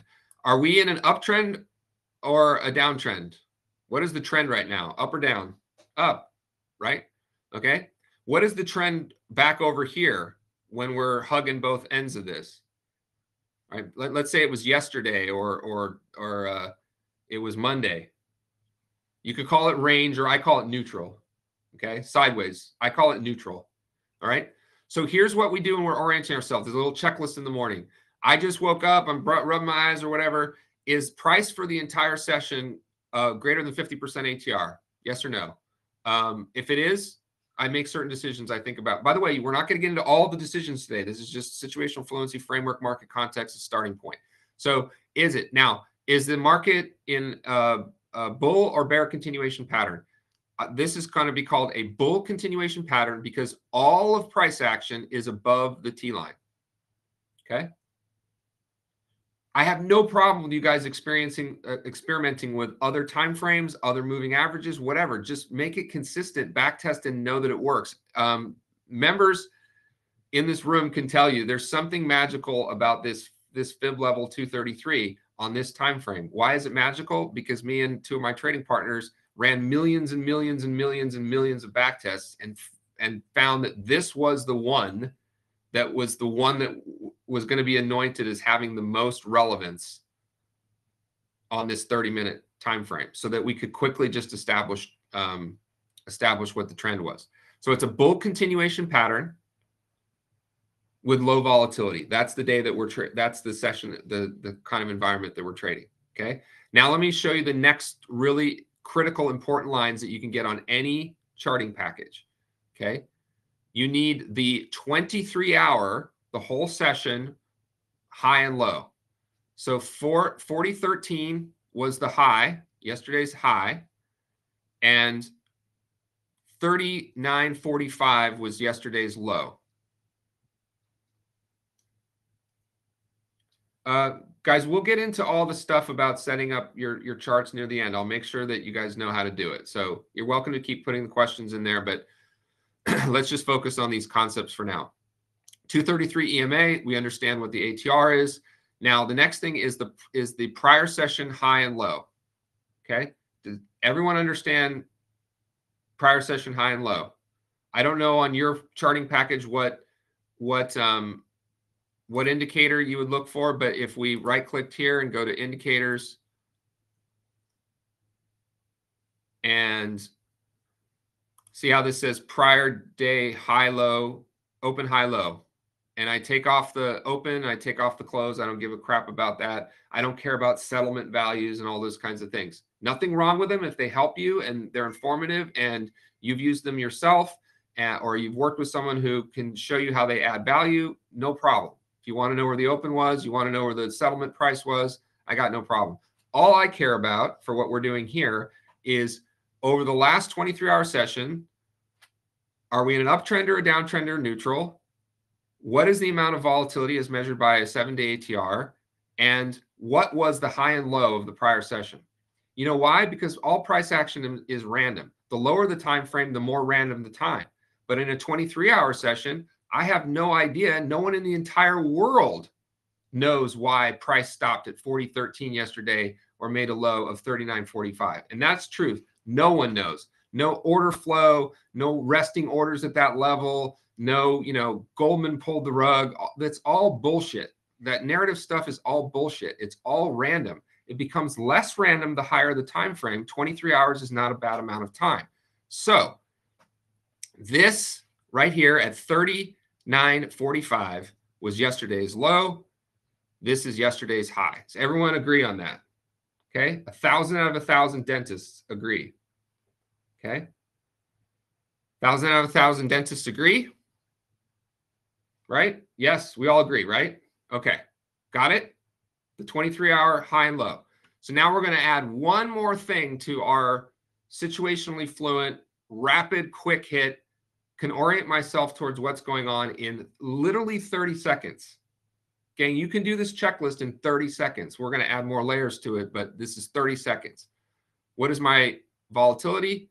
What is my trend? Am I trading inside or outside of the prior session? Okay, so this will be advanced. Don't answer it if you're a member or, or someone on trial. I'd, I'd, like the concept if you literally, if your first day in here, first day ever hearing my voice, are we, this is the prior session high at 4013. We're currently trading at 4031. Are we trading inside or outside of the prior session's range? What's the answer? Are we trading inside or outside? Outside, cool. Outside, right. We're outside. So now we're going to put all of this together. We are in a bull continuation pattern outside day up. Okay. MES is low vol. Okay. Bull continuation outside up. Okay, I know everyone wants to know, okay, well, what does that all mean? How I put it all together? We're going to get to some of that, but the most important thing is just, can we do this? Now let's just do it instantly on the Dow Jones. Someone tell me, what is the Dow Jones right now? You don't have to write all that out. You can just, is it the same as the S&P? Same or different? Same. It's a bull continuation pattern outside day up, low vol day, right? What's the Russell? Same thing. Let's look at let's look at like crude oil. What's crude oil? Bear continuation pattern, outside day down, right? And uh, I mean, I don't know. Does this look does this look significant? I mean, maybe we just got lucky that that uh, that T line kind of held right there as our as our sell point, right? Kind of held right here as well, right? So crude oil is in a bear continuation pattern outside day down. Okay, 513, excuse me, 500, 5 513, $5 is more than the ATR, right? This is 100 more than 100% ATR. Remember? What's our ATR on on the Nasdaq on uh, excuse me on crude oil? 381. So crude oil lots of volatility recently, right? We we saw some the other day as well bear continuation pattern outside day down. Okay. All right. So on the range trader, we have established volatility, trend, and range relative to prior sessions range. Okay. We have both the volatility for the session and where we're trading relative to yesterday's yesterday's range. Okay. Now we won't get into all this today, but all we do is simply overlay a number of very easy concepts to this. And those concepts are should I be trading in a low volatility range? Depends. Depends on on like we discussed uh, your particular uh, situation, your risk budget, your skill level, all those other kinds of all those other kinds of things, time of day, factors like that.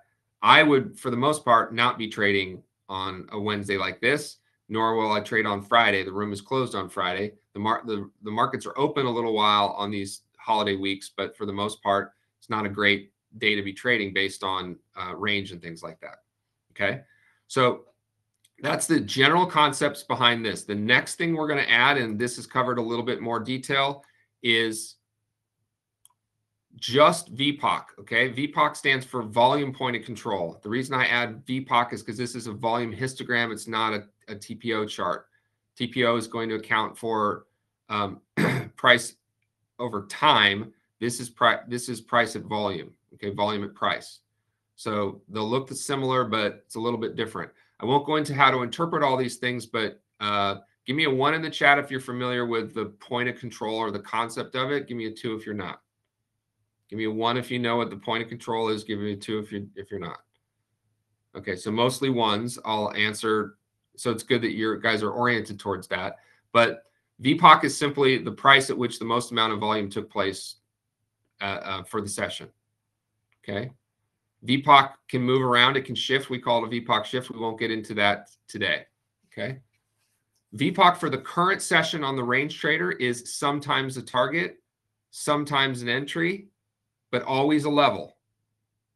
So VPOC on the current uh, in in the uh, current uh, setup for today is almost meaningless. Why? Because it's an outside day up. Slow, slow volatility day, outside day up. This is a double distribution pattern with VPOC right here. Okay. It's just a meaningless level. You could use it as a target if you decided to, you know, dance between the raindrops and get short here. You just look at it as a little scalping target, no problem. Obviously, if if they're if sellers are able to get us back into this little air pocket from this move here, you could look for a move back down to there. Do I know or have any opinions or thoughts about whether we'll reverse today or do anything or sit here? Absolutely not. I have no, it's completely random. Okay. What I do know is that there's a another 45 points sitting there in one direction or another, possibly. Okay. All right. So today, VPOC on an outside day up with a narrow, narrow range is just not that interesting. You can almost like say, I'm going to filter out that level. That's developing situational fluency. Why is it not as interesting today? Because let's go through the checklist. Again, I'm going to reinforce these same concepts. Low volatility environment, outside the prior range, holiday, slow day, whatever you want to say, not that important. However, prior sessions VPOC is very, very important almost all the time because I'm now going to introduce the next concept, which we want to talk about the rule of projection. Okay, we're going to talk about the rule of projection and uh, we'll go right here. Rule of projection. So make this a little bit bigger. All right. Lots of people like to draw fib lines, you know, 127 extension and, you know, but they're anchoring it from where? From a made up level. I know you can say it's made up. There's some times where it just screams like clearly this is a swing higher, a swing low, and clearly I should anchor my fib level from there. Or they want to do a measured move projection. You know, this was the last thing, this measured move. Nonsense. Bullshit. Not not testable. You can't back test it. The, the, the fact that fib is as popular as it still is just blows my mind. It blows my mind. So the rule of projection is going to use the same the two concepts that we talked about earlier. All that matters is volatility and volume. So what we're going to do is we're going to take one ATR. We're going to come back to this over here. What we're looking to do right now, gang, is, is project the potential ranges for today based on prior sessions uh, VPOC. Okay, so the first thing that we need is we need to grab our ATR. Remember, ATR is everything. The ATR on the MES is 75. Okay, we're going to come over here to our prior sessions VPOC. Okay, and we're going to take 75 from and add it to 39 uh, 85 and that's going to give us i'm really bad at math but isn't that 40 60 all right. So we're going to grab our ruler. We're going to drop it here. 40, 60. There you go. That is our rule of projection high for the day. Okay. Does it always work out that we get a, a, high volume node that's kind of in the middle of the prior session? No. There are other times where we can measure this a little differently, where we are situational, right? Where we adapt to what we're seeing yesterday, this is a nice, decent looking profile to, to key off of. And where would price be to the downside? What would the price of the MES be to the downside?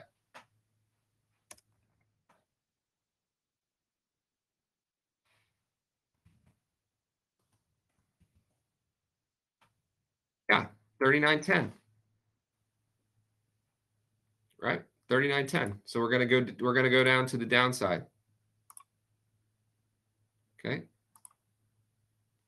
I saw something about works or whatever. I love that all of this is just probabilities.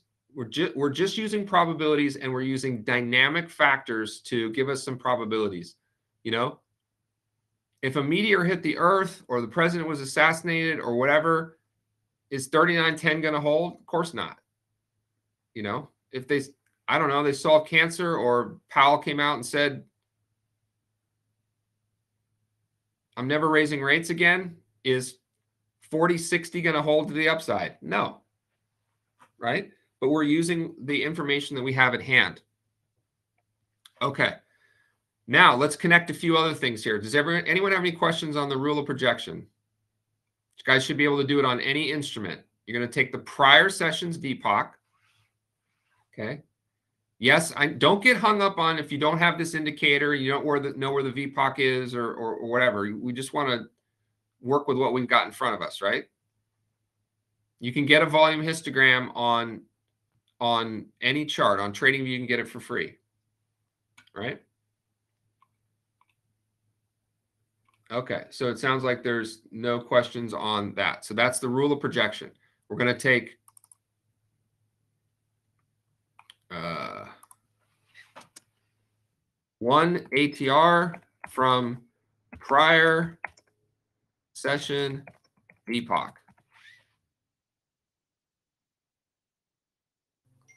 One ATR from prior session VPOC gives us a gives us a range. The other thing I wanted to just point out is you see how there's these this is prior session low 39.45 we went through that before uh, the low from the prior session was 39.40 and the low from the prior session was 39.42 now I don't know about you, but I didn't have to draw these lines as support and resistance or whatever. This is the last three sessions where the market is telling you this is support for right now. I should make that up like that. There, there it is. So what we would call this is we would call this a, a bid zone. Okay, support or bid zone. Now, if there's uh, some of you that are struggling with over trading or looking for trades or signal hunting or all these other kinds of things, the other thing about range trading off of this is if you really became disciplined, right? And there's no problem with with this is not like poker where if you only play pocket aces, your opponents will adjust to you. The market doesn't care if you have the patience to wait for the highest probability setups. If you only want to play pocket aces, just play pocket aces. Now you got to get dealt a lot of hands before you're going to get pocket aces. But if you have the patience for that, this is where you'd look to be long. And later on next year, this community is going to get into um, option selling, where we would be selling puts there, which has all kinds of other benefits because we're getting paid a premium for the volatility that we're uh, for the for, for some of the risk that we're taking and we have even more of a fudge factor if you understand uh, options. So will we get down to 39.42 today? Pretty unlikely given current price action and the day that it is. But that's your level down there. And that is because it's back to back to back prior sessions lows, right?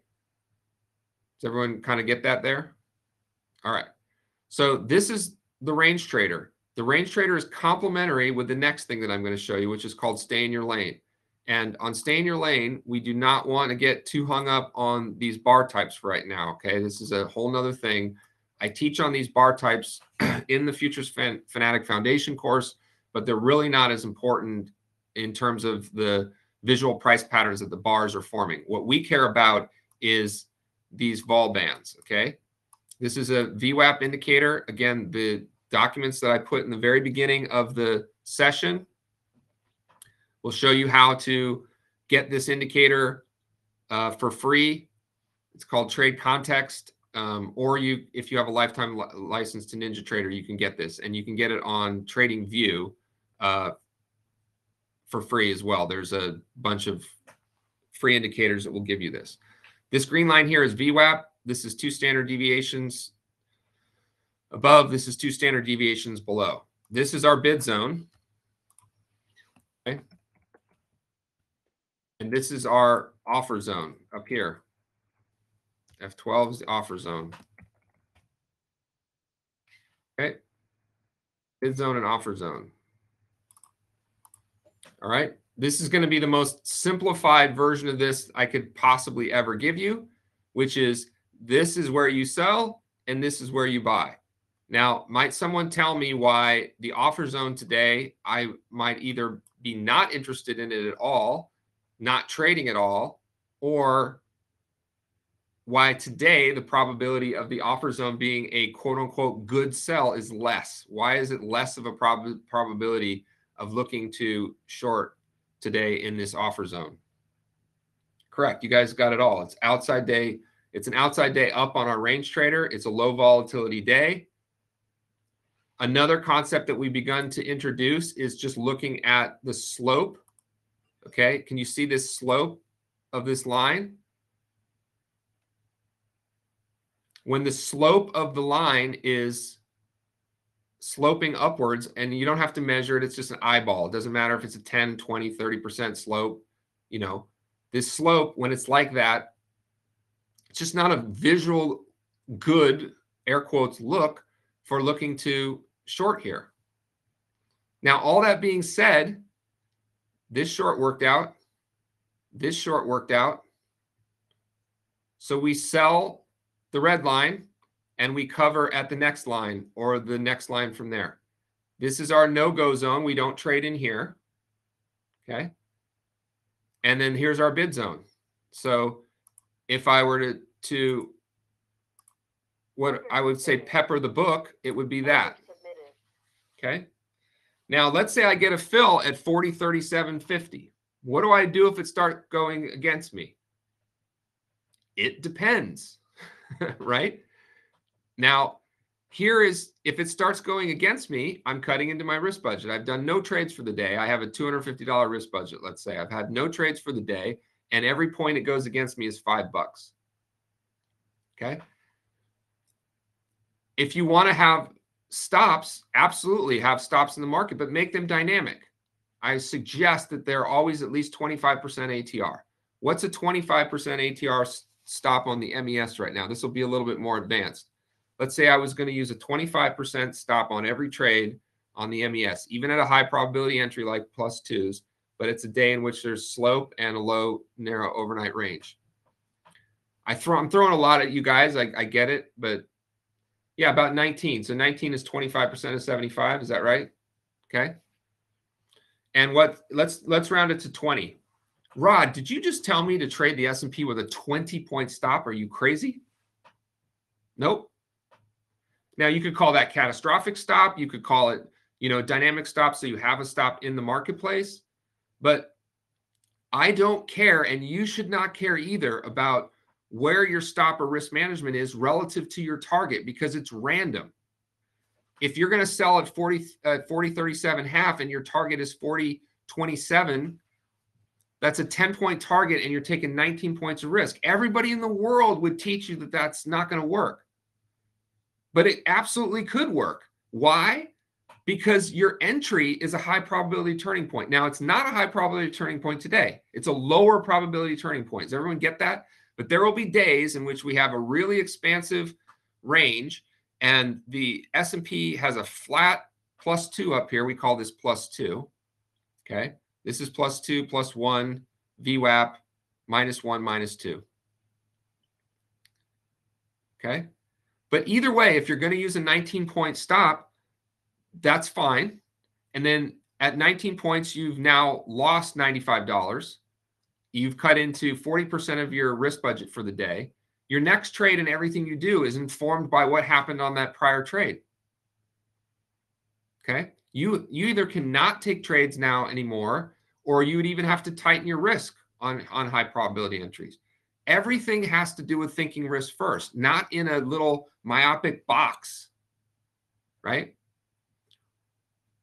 because what we want to do here is take advantage of the humanness of who we are because it's a major disadvantage for everybody else most people don't have the skills to code if they did, they don't have the ideas of what should be coded. And so if they tell someone else to code something, all the beauty of a, of a of a, a, computer or an algorithm or something just trading for you all sounds great, but you don't really have the situational fluency, the awareness of what you want to program anyway. And you cannot program in at our budgets and our skill levels all the various factors that your brain can do a lot faster. Yes, you could tell a computer that it's a, you could measure the slope, you could put in all these other factors, but you could do it so much faster yourself. All right, so there we go on this the the stay in your lane. I mean, let's do it on the on the Dow because the Dow looks a little little better today, kind of flat.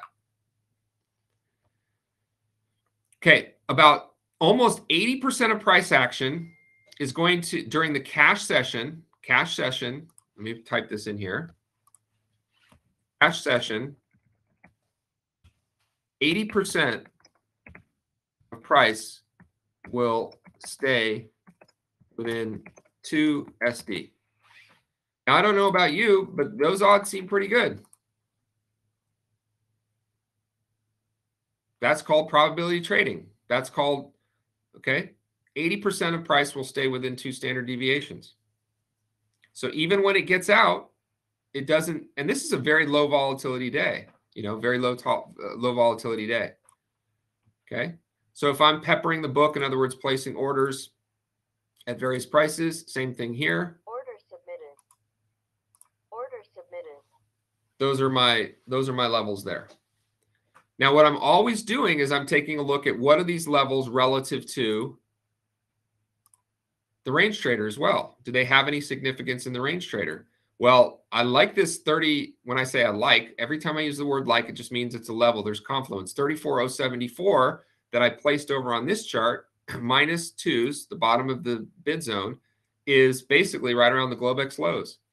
And the 252s up here is just about session highs, pretty close.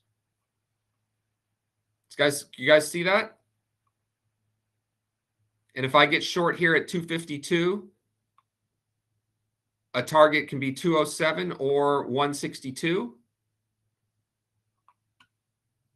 And if I get short here, I, I'm only managing risk. We're not going to have an opportunity to actually trade today to to show like the markets are just not moving. So we just watch paint dry to try to get examples. But there are more concepts than we'll go into today in terms of risk risk management strategies and trade management techniques. One is called a graceful exit, which simply means if if I'm in a position that immediately and profoundly goes against me, I'm short and the market goes a lot higher. What I'm looking to do is is try to scratch that trade or uh, take a less of a loss on it as quickly as possible. There's some nuance to that, but there also is do I have another natural level with which I can add or campaign around that price? In the cases today in the S&P and the Dow and everything on an outside day up, the answer is no. Okay. If you add to um, to a unprofitable position on a short on 34 251 you are doing the absolute no no of what they always say. You are adding to a loser. It's very different than if we had already a uh, another level up here or if developing value or high was higher. R1 is not a level. I won't get into that today right? There's, it's just a pivot point. So r1 is not an area that you can short all you can do with a 34 252 short in the Dow Jones is take a profit on it or scratch it or close it out for a loss. There's no campaigning or adding. I, I don't have another trade up Order here, or something like that. Order canceled. Okay. All right. So that is stay in your lane. Let me see the other quick concepts that I want to go through. Um, on Trading View, let me go over to Trading View right here. Okay, I'm going to pop this in here. If you're not following me on Trading View, follow me on Trading View. I will eventually be posting more ideas and scripts over there. But one of the things I want to show you is that we do have for TradingView and for NinjaTrader a couple custom indicators that I won't get into today. One of them is called the extreme turn. Okay, it's the it's kind of the only custom indicator. I teach and train on this a lot on this on this page, and you can figure out how to do most of that calculation, whether you own that uh, indicator or uh, indicator or not. But the extreme turn is a really nice uh, turning point indicator that we apply to mostly 30 minute charts, although you can apply it to higher time frames as well. But over here on um, on Trading View, let me go to uh, charts. Okay. Here is the the stay in your lane and the range trader on Trading View. Okay. It's the same thing. So here, most days your levels will be exactly the same. Here we are on the MNQ. Let's look at the MES. Okay. You see how this level says 40, 36, 75. That's our plus twos top of the of the offer zone. And you can see how we have this slope here. It looks even more pronounced on a five minute bar. Guys, everyone see that slope? So 40, 36 and 40, 37. It's the same level right here. Okay. So you can trade it on, on either one. And yes, you can apply these bands to uh, Tradovate if you have if you're charting on Tradovate as well. Okay, we're straight up at eight o'clock. So what I'm going to do is switch to kind of question modes, and there was enough questions that came in that what I would ask is let's just ask them again. So let's open it up, maybe do 15, 20 minutes of uh, of questions. I know we covered uh, quite a bit of ground. Um, if the questions are around how to build these templates and charts and stuff out, please look at the alerts. There's a there is um, Google Docs that you can grab that will answer most of the questions around getting your charts oriented around what we talked about today. But really want to emphasize the importance of volatility and volume and prior session to determine current session. All right, so let's see. How can you, uh, by the way, gang, if you guys can put question marks at the end of your question, then that's really helpful.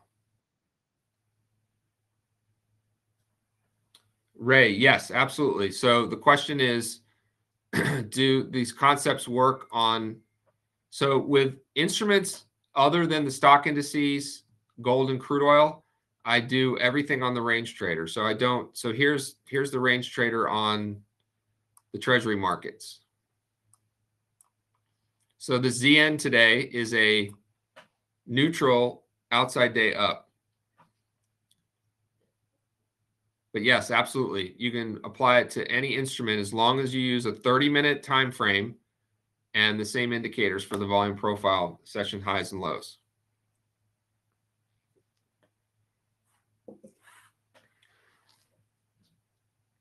Uh, good question. So the question is understand how the rule of projection is calculated. By the way, the way it is calculated is it's one ATR or 100% ATR from the prior session's VPOC. Um, what you do with it is just determine how fast the car is moving. So let me give you an example. If the market fell apart today and came down here to prior session's low, which is absolutely a buy because it has uh, SOS2, SOS3. It's at three days in a row. 39.43 was uh, where some responsive sell- buyers came in, and we break below that. We have other ways of calculating where where price might go to, but in that case, you could use it as an ad. That would be an available ad to you. Now, again, whether you're stopped out before you get there or not depends on your risk budget and a variety of other factors, as we talked about today. So, great question. So, you're basically using it as just the the potential range. It does become a level, though. Okay. So, as an example, if you got long today and you were looking for the market to, and when I say looking for, please don't get into, I think this is going to happen or all those kinds of things. We have to use words to express whatever. Get a lot of that out of your head. Oh, you know, it's uh, slow and, you know, don't sell a slow market and, you know, seasonality and, you know, we don't know. It's random. And, and it, it could sit here, it could do nothing. It could fall 20 points, it could go up 50 points. We have no idea. Okay. But if you were long and we're outside day up and making new recent highs and you have nothing else to key off of, don't look. This is this is this is important. Don't go signal level hunting or draw a fib level on some or do some rule of projection or whatever. The much higher probability target, if you're looking for an extended target, would be that rule of projection high for today if you're long another 20 points from here. Does that make sense control? You got you got that? So you could use it as a potential add to an unprofitable position getting long here at 39.42 or better for today you would use it as your ultimate target you know if you don't want to squeeze any more blood from a stone that's about where we look to be going given the current volatility environment up to about 40 57 okay cool um, so Brown is asking, why did you say we shouldn't trade in the one standard deviation range? Um, uh, I don't know if I sh- probably shouldn't have said you shouldn't. Absolutely, this you can. These are fine too. Order submitted. I would I I would not be shorting. Uh, so the minus ones are tradable depending on market conditions. Today is not a market condition in which you'd want to be uh, doing much with the minus ones because the volatility is just too low. Nor do you want to switch and say, well, now I'm going to trend trade off of one standard deviation from VWAP, looking for you know this to this. But you could at some point. There are days in here where I'm positioned in such a way where I will do that. You don't want to have style drift. You're still working off a, a dynamic level. I mean, no, nothing on here is a moving average, right? But when you're learning this strategy, by the way, I'm just going to uh, cancel all these orders. When you're when you're learning this particular strategy, you want to start with the higher probability entries as you're learning because trust me, everyone in here and other members will go. The most frustrating thing while you're learning a lot of this and developing how you're going to orient yourself around it is days in which the levels don't hold and you're immediately kind of fighting a short on a strong up day or you're buying into continued selling. And Rod said that 80% of price action is supposed to take place within these two levels, but I always happen to be stopped out when it's outside, you know, and I get it.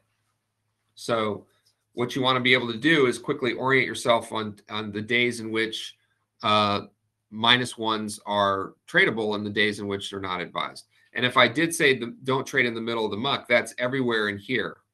Everywhere in here, you do not want to be trading when you're starting, when you're learning this thing, right? This is what we call the middle of the muck. All this here. Okay. VWAP is is nine times out of ten a target, not an entry. It's a target. A target for shorts. If you're short here, targeting 40 20. If you get long, long at at 4,000 ish, you would target 40 20 as your as your target. Does that make sense? All right, uh, let's keep them coming. More questions? All right, you got that? It's those are great questions because that's where we started the whole. If you weren't here the whole session, or if you watch this replay, it all starts with situational fluency in your risk budget, right? All starts with situational fluency in your risk budget, and situational fluency is what is the, how fast is the car going? Which direction is the car going? Okay, where could the car potentially go today? Based on dynamic factors that you can quickly measure. There is no discretion for the most part.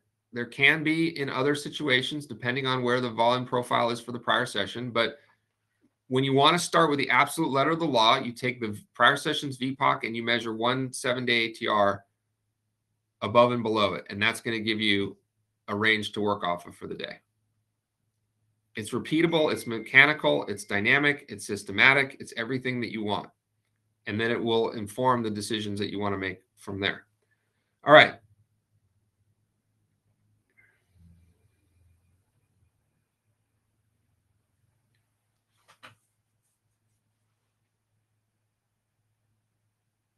Um, so Daniel's saying that you said that price stays inside 80% of the time, but it's moving upward or downward. Yeah, it's mo- it's moving all within that uh, all within that range.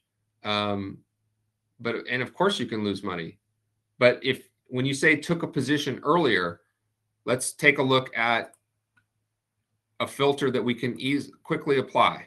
Let me close these two. Order Okay.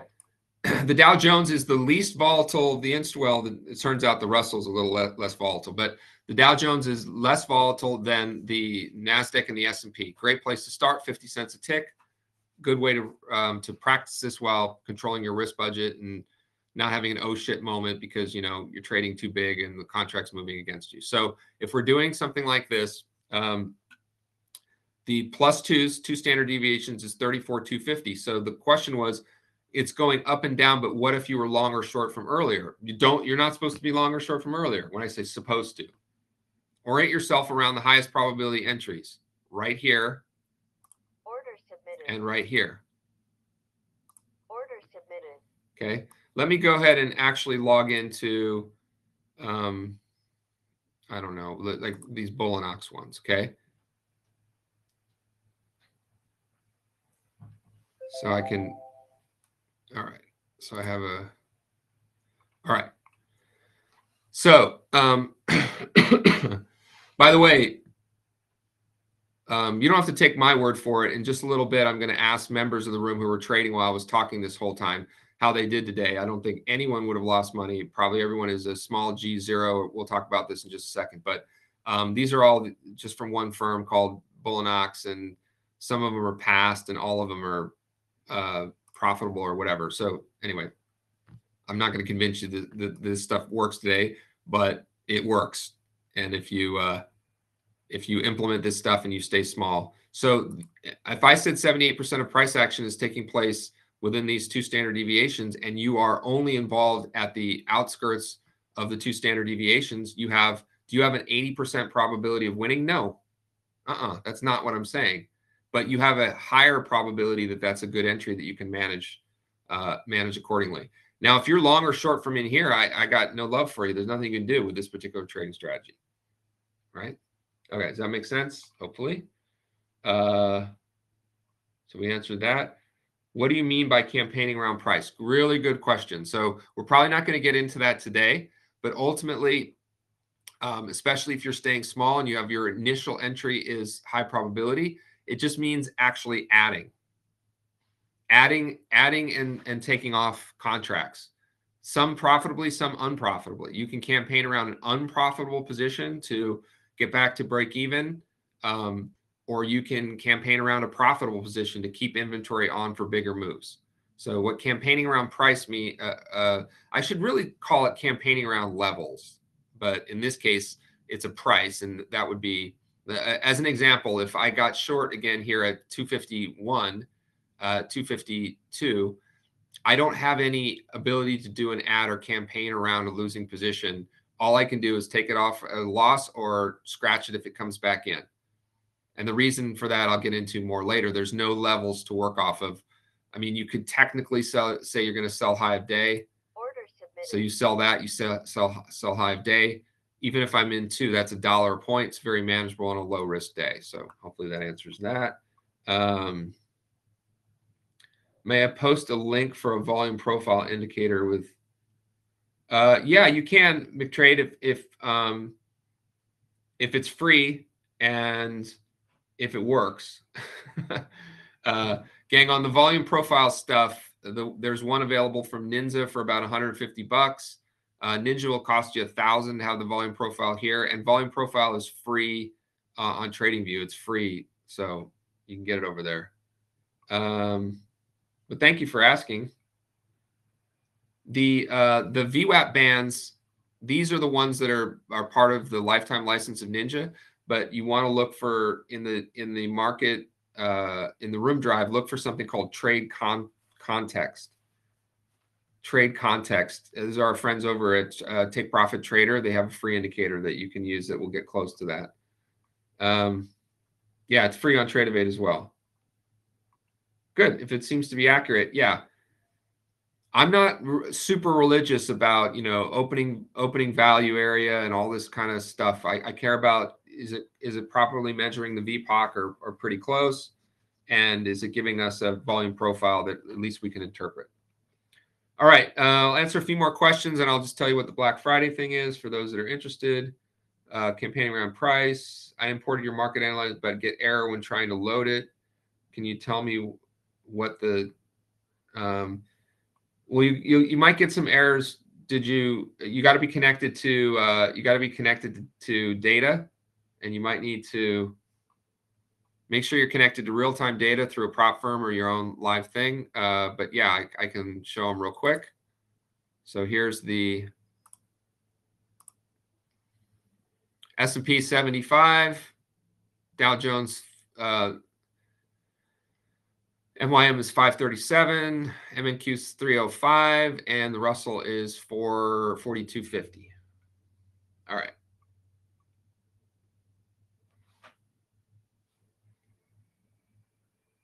Okay, now before I answer any more questions for members or anybody else, let's do our little thing. Can you put your P&L and P&L and EC scores in here? And let me explain what that means.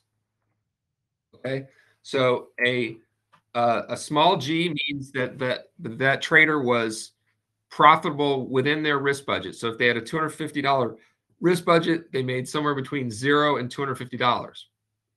If they have a big G, then they exceeded their risk budget. They made two hundred fifty one dollars or three hundred dollars. Okay the same works on the downside. If you have a small R, that means that you lost within your acceptable risk budget. You have a $250 risk budget, you lost 80 bucks. You have a small R. What is not permissible is a big R. A big R is you have a $250 risk budget and you lost $251. No. No. Let me say it once again. No. Okay. Now, will there be days and market conditions and sessions that will definitely lend themselves more towards getting closer to your max risk budget? Absolutely. With this trading style or any trading style. Okay. And JOMO is, is means the joy of missing out. So some a lot of traders might not have been trading today because they were just listening to this training session. But um, and then the, the zero refers to an EC score, an emotional capital score of zero to 10. 10 being bad, zero being the best. How do we measure that?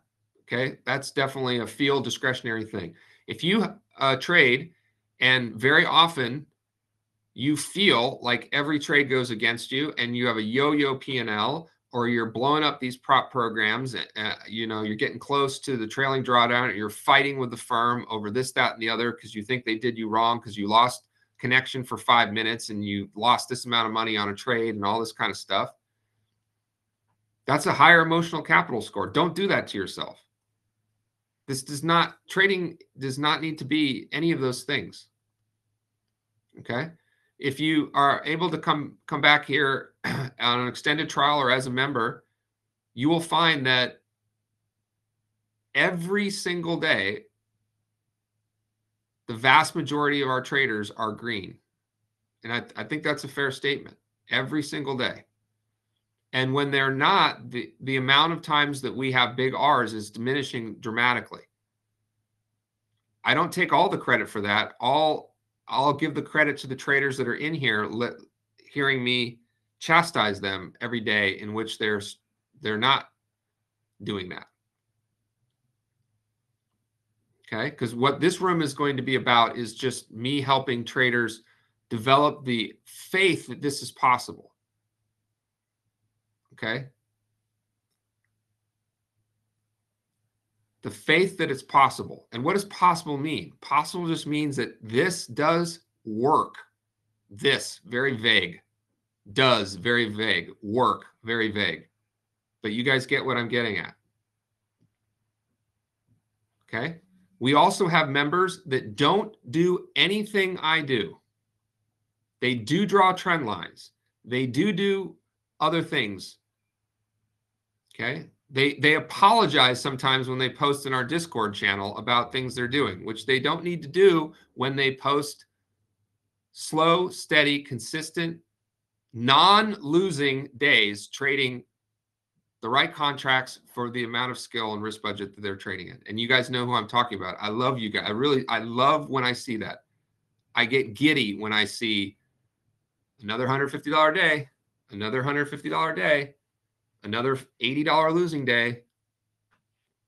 Because guess what? At any time, when the time is right, you can torque that up so easily. And now with the micros, you don't have to torque it up. You can torque it up gradually. Do you know how massive it is and how difficult it is with all those bullshit charts that have been going around in futures for the last 20, 25 years about you grew your account value by this much so you can add one more full S&P contract where you're absolutely doubling your entire risk? You're going from $50 a point to $100 a point. How about going from $5 a point to $15 a point when you're ready? Because a lot of people can't even handle the emotional aspect of it, let alone whether they know that they're just playing the same game. They know that it's the same level. They know that nothing is different. Okay, so that's that. Um, all right, so didn't sound like there's any other questions. All right, let me uh, let me let you know, especially those of you that might have been on trial for a little little bit longer, because this is going to be literally the only time I do this, and I've decided I'm going to do it once per year. So if you're interested in being a member of this group, this is how you do it. This is how you do it. By the way, there is a decent amount of time here in the room where I don't do anything and I sing and we don't trade that often and talk about 80s music and generally enjoy ourselves. So that is an aspect of it. All right. So here is the pricing page.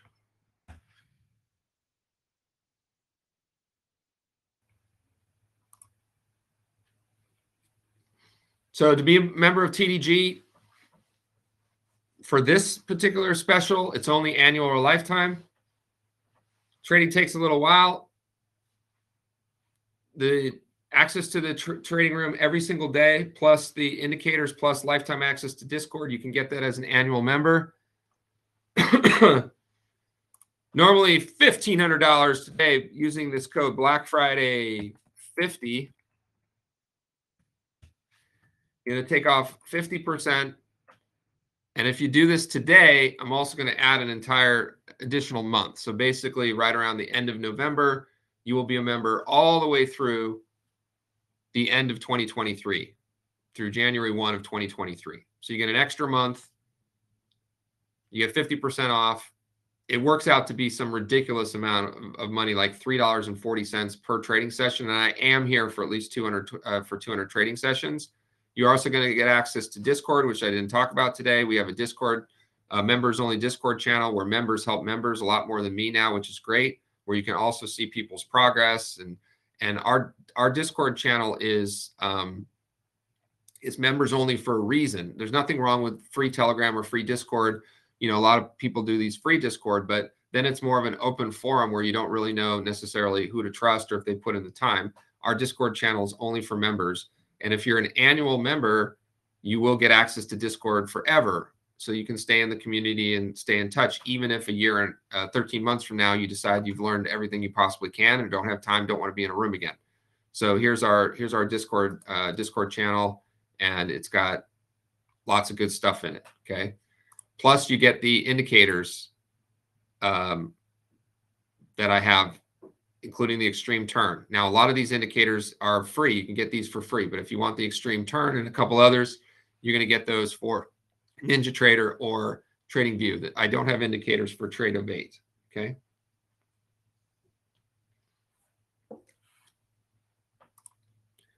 So that's it on that. If you want to, let me put this in here. Black Friday 50.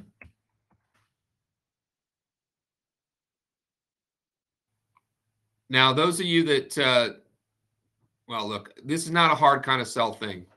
Um, the other thing it will include is is uh, is uh, have two courses that will be coming out, one on options and one on full details about a lot of what we went through today, but mostly techniques and strategies.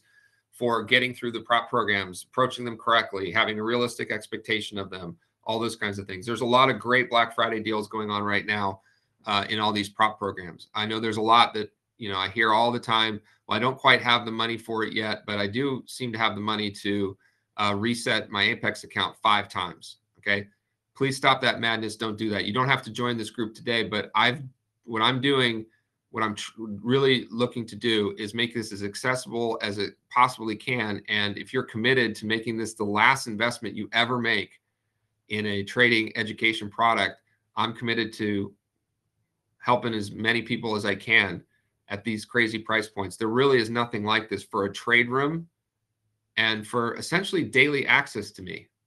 You know, there are many members who've expressed concerns about continuing to add members because for a lot of reasons I get it. And I've already told you some people have experienced that you know, I can't answer as many DMs as I used to and all these kinds of things. That's not a bad thing because I think it more than makes up for community members helping other community members because you guys are in a different spot than me. And I think your input and advice is uh, equally, if not more, helpful.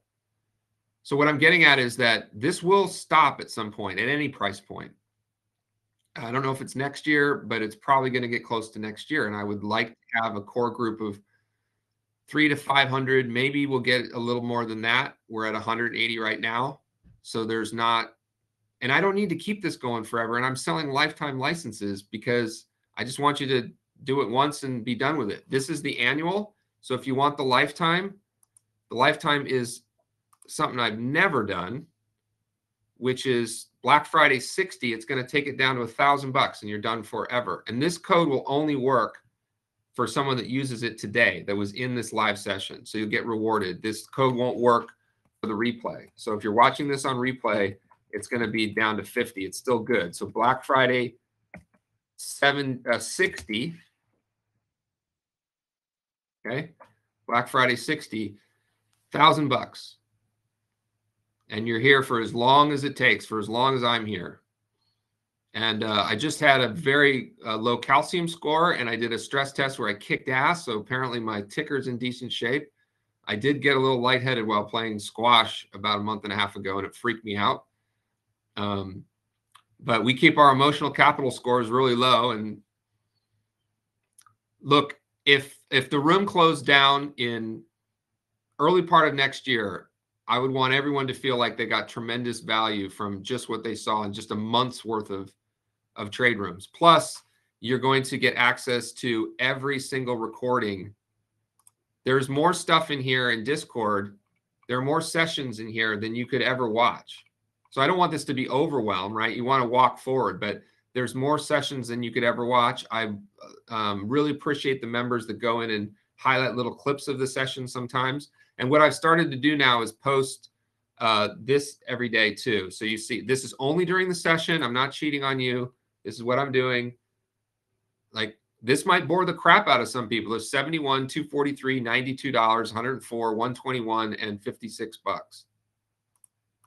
Okay.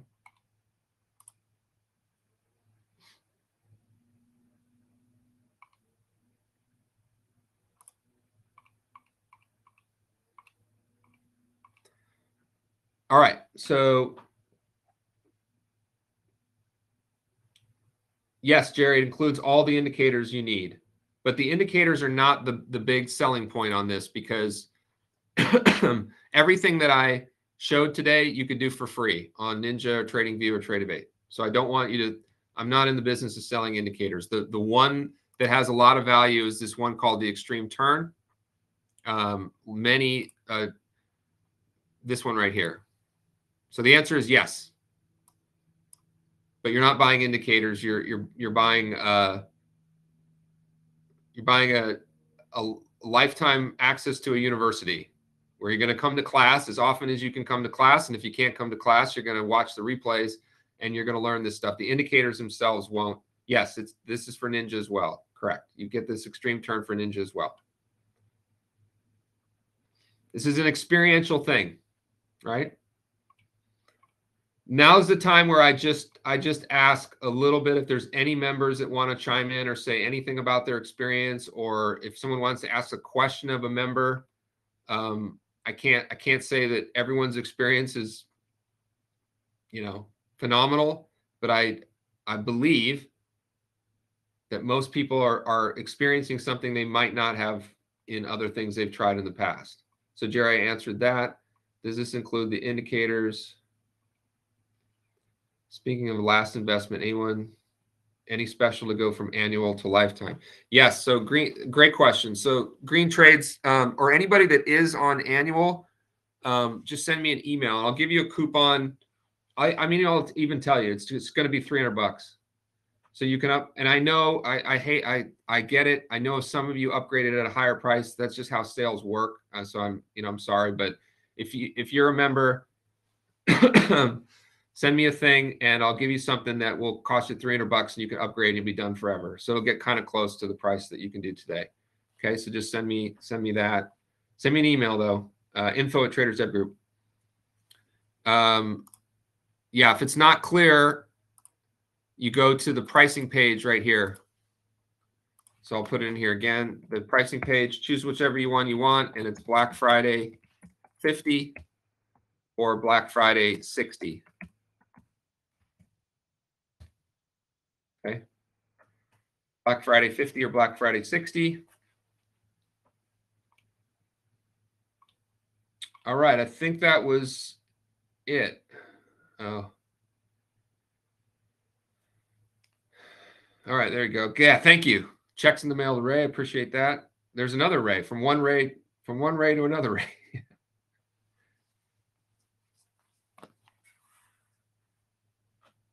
Yeah, that is correct. That's really important to point out.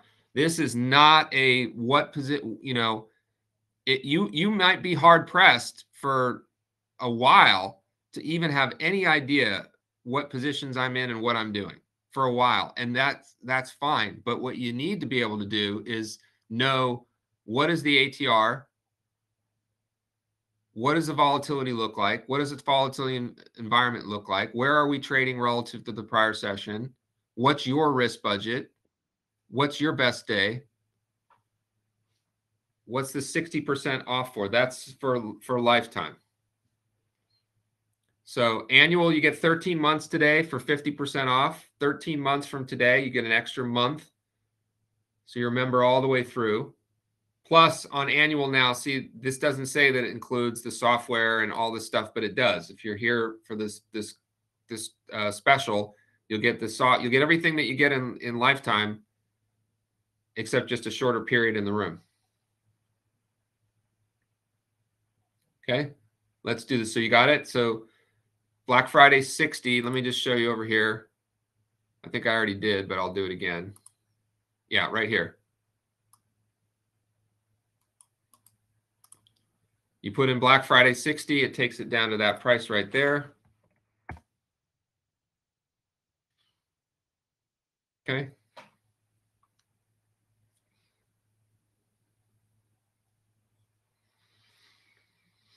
Yeah, you can. Yeah, PayPal's accepted. Yep. Take PayPal, take whatever. Can't pay in crypto anymore. Thank you, Adam. So you can read some of the little testimonials. Uh, I do have a testimonial page up here too, which is down here on reviews. So these are, and I always say this, like if you're, if you've been a member for a while and, and you feel like you're ready and you want to leave a review, it really does help.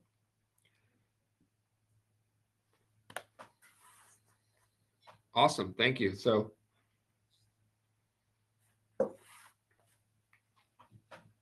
and then we have, you know, we have some some stars and I know that some of the stars sometimes feel they feel hesitant to put their numbers up and I've told them no, please do, you know.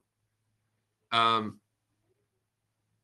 so you know, we we've had some people do some pretty amazing things on just a, you know, pure P and L basis.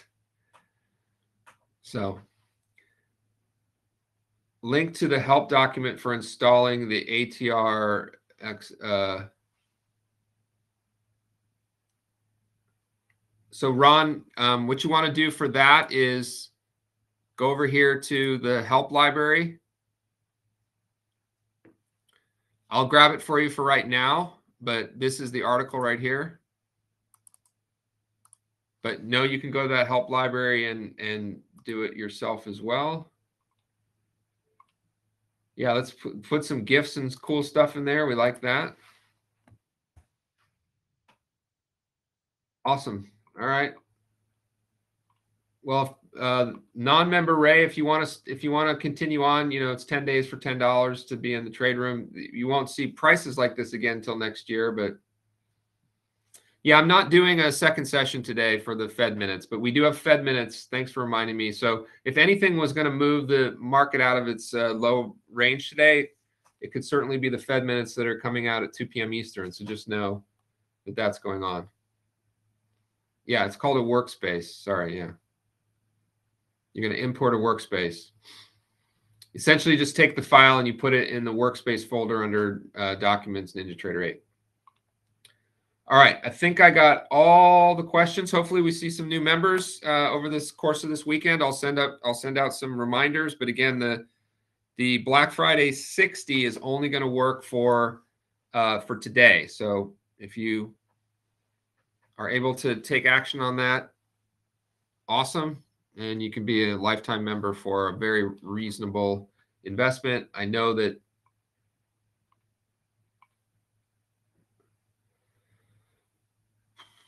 Oh, in terms of the the uh, prop stuff, we also not always, but occasionally we'll get you know a little bit better, not necessarily deals, but there's a couple owners of some of the prop programs that are in our community channel, so they can interact. They uh, in our Discord channel, they can interact with you there. If you want to know about the latest things that are going on in the prop world in terms of discounts, I always appreciate if you can use my codes. Obviously, I get compensated for that, but you know, follow the the channel there. Uh, thanks. Keep uploading some of your your numbers and stuff. That's just fantastic. Again, what I do is meaningless. It's it's what. Uh, no, there's you can't do the uh, no. The installment plans haven't changed, so that installment plan is very expensive. No, so it's one time one time payment only. Um, I know that monthly and installment is helpful for a lot of people. I I, I get it, but um, you know, hopefully you're in a situation where you can just put it on a credit card. Um, and actually, if you're in a situation where you don't have that amount on a credit card or it puts you in any kind of stress, it's it's better just not to do it, in my opinion. Um, I have enough data now that almost all the installment plans, uh, like, don't get completed, which is which I think is terrible because what happens is people end up paying more money and then they they don't they don't finish and then I can't you know I've I've done about uh, I've done way too many like one-off deals to keep to help people out and I want to help people out but I'd rather just help you out by giving you a one-time really really really reasonable reasonable investment so is the discord site free no the discord site is not free the only way you can get to discord is you have to be a member so if you do do a monthly plan, you get access to Discord for as long as you're a member. But when you cancel, you're removed from Discord. You're removed from the from the uh, from the indicators and things. All right. Um, so we we answered. I think any other questions on what this Black Friday thing is? Asked about the second session. We're not doing that. Everyone have a great uh, Thanksgiving if you celebrate that if you're another part of the world, enjoy the time off. Um, everyone does your own thing. We're all adults here, but I would highly recommend that you you not trade on Friday, so you don't have to worry about what the trading hours are and all those kinds of things. Um, on the on the uh, discounts right now, Bulenox is running a 70% off sale with TDG Thanks 70. Apex is running a 80% off forever with TDG 80 80. Uh, Take Profit is running 50% off um, with the code uh, TDG. I don't know what the code is on this. I didn't even put the code in here. It's not good. I think it's TDG Barstool. and they all have subtle differences, but if you want to get paid faster, then take profit is one to consider, but they all have subtle differences. Yeah, so basically Apex right now is 80% off for life. I mean, that's just bonkers. So that's like $35 for a for the $50,000 account. And yet I've already seen, I swear it just I just it boggles my mind. I don't I don't understand it in the slightest. People don't even understand how their billing system works. This week there have been people that have bought some for $35 and then reset them. If you're going to be a bozo, at least be a bozo who understands what you can do during the promotional period. Just cancel it and buy a new one. But the emotional capital, the damage that you're doing by ever resetting even once. Now, let's be honest. You're going to have a couple resets probably in the course of your trading career. But you make this investment with me and you spend the time to come in here. I mean, you'll know when you're being a bad boy or girl and you're just not doing any of it correct.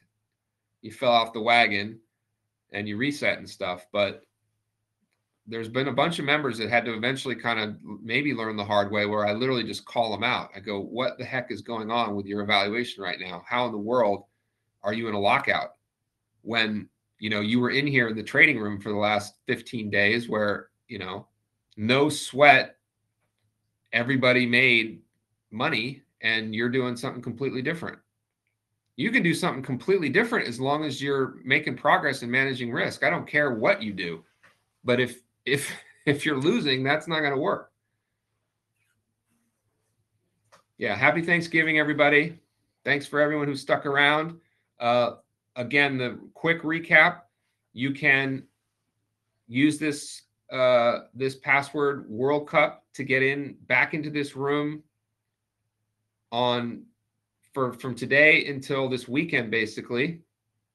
You can uh, watch the replay of this. I'll send out this replay as well, but there's archive of nine other sessions. And then you can also spend a little bit more time in this room drive and click on each of those and download some more stuff in there. There's PDFs. Yeah.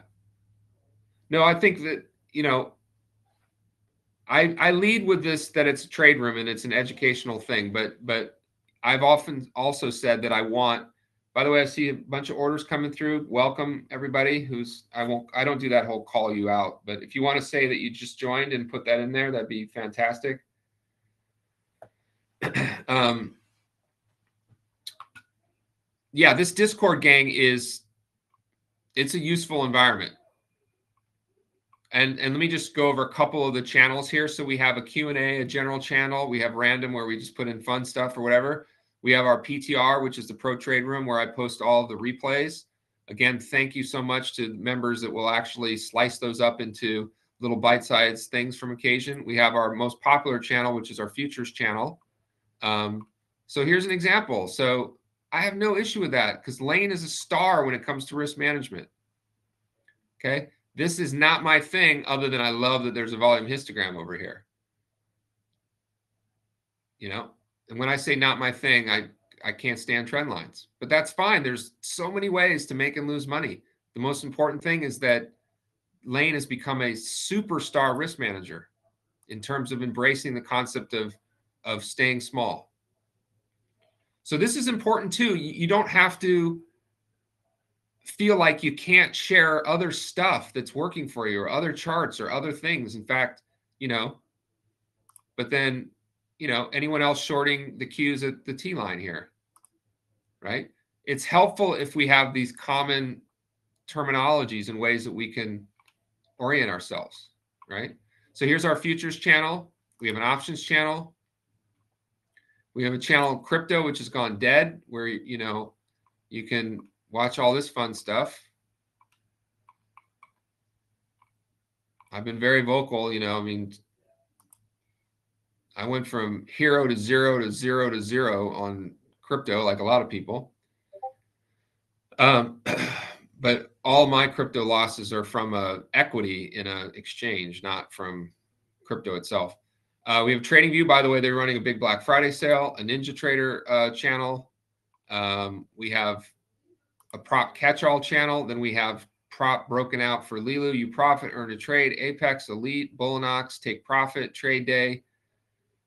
We have this great area, which I wish more people would post in, but here's some weekly results. Lots of good stuff. The option stuff will start. It's options on futures. It will be options on futures for micros only, MES and MNQ. We eventually would get into some ZN uh, uh, ZN options potentially as well, and that's going to start in early next year. But you'll only get I um, as of now, I won't be selling the course or offering anything separately. So you'll have to be a member. So it'll be included when you're a member, and then for uh, some people, I'll fund you as well. So I'll, I'm going to fund you with my own money. But it's going to be the TDG way.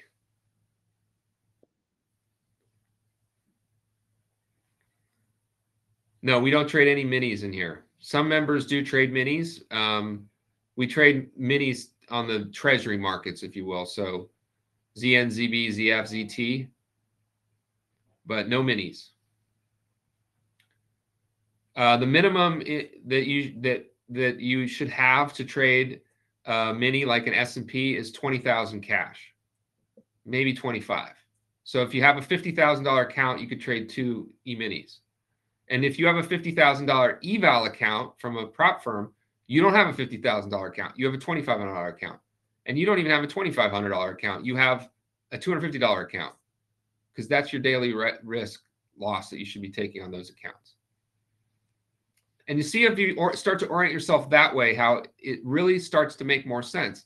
This bullshit about a 1% to 2% risk per trade, that's nonsense. That works fine if you have $25,000 capitalization per mini, you can take one to two percent risk of that and be trading that the volatility for that instrument properly. But if you have a $2,500 account live or $2,500 worth of drawdown risk, which is 100% of your account value, how in the fuck can you take 2% risk on a $2,500 account?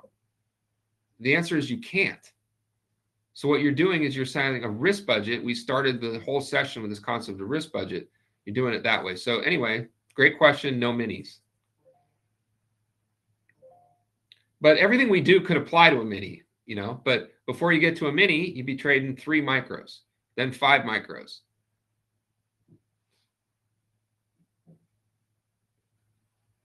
Lots of people get hung up on the commissions associated with micros and don't see the power of what they allow you to do. It's a completely different trading style. You can manage risk a lot better.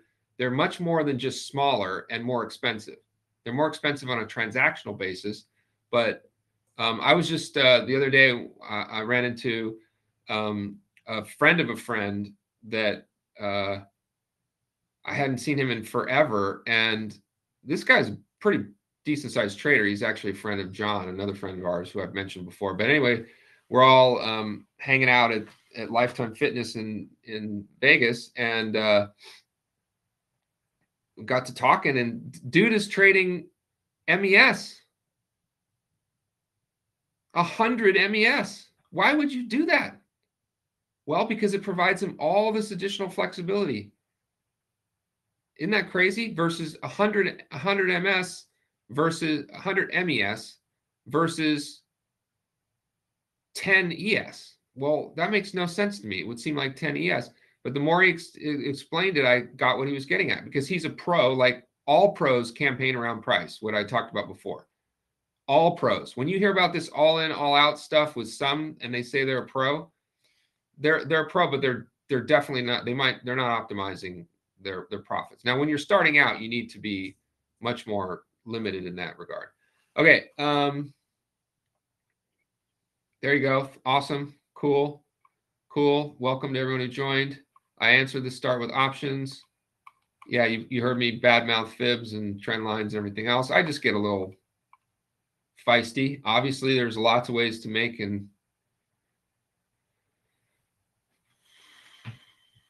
Yeah, I love that. I'm going to read what Twisted wrote. If you're interested in becoming a trader, that's right. Not not how to trade or screw around or trader. A trader is synonymous with risk manager.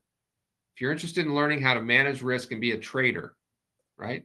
Day trading for for income and growing from there. There are no short there are no shortcuts. There are not. You're you not only no shortcuts, like I said before, um, so I'm a partner in a company called Collective2. I've been able to see hundreds of thousands of trading strategies, which is basically just traders. Some of them are algorithmic, but most of them are just discretionary point and click. And I can see the fear and apprehension and tension in their trading because they do okay with small size. They get more uh, subscribers to their strategy, more eyeballs on what they're doing. They feel this sort of performance pressure and the moment they get out of their comfort zone in terms of size, each tick value is too big relative to their account, relative to how many people they now have invested in them. And they blow up. Now, many of you have probably found a way to blow up just by starting with too small a size. Excuse, excuse me, too big a size. It's a it's a it's a progression. Uh, with the program, is there a set structured course for me to follow? Um, no, there is no set structured course. There is the Futures Fanatic Foundation course, which is free. And then there is a decent amount of, of training and education videos, but they're not really in a structured format. The, the expectation here is that you come in and watch the replays and spend as much time as possible in a trade room. If you cannot be in the trade room, then I think there's still a lot of value. It's you're in the trade when you when you can. Um, but if you cannot actually watch the markets uh, for about the first 90 minutes of the cash session, yes, it's a 23 hour market, but futures trading for what we're doing here is probably not for you. It's I just mean for for you at all, for me or for anything else, or for some course that costs a dollar or ten thousand dollars. So this is about um, about the the foundation is this, but you can watch all the replays again in Discord. But but again, if your work life and stuff does not allow you to at least a couple times a week practice and see what markets do around the open and the futures markets, then um, I wouldn't make any investment in futures education because you just don't have the, the time uh, required. Yeah.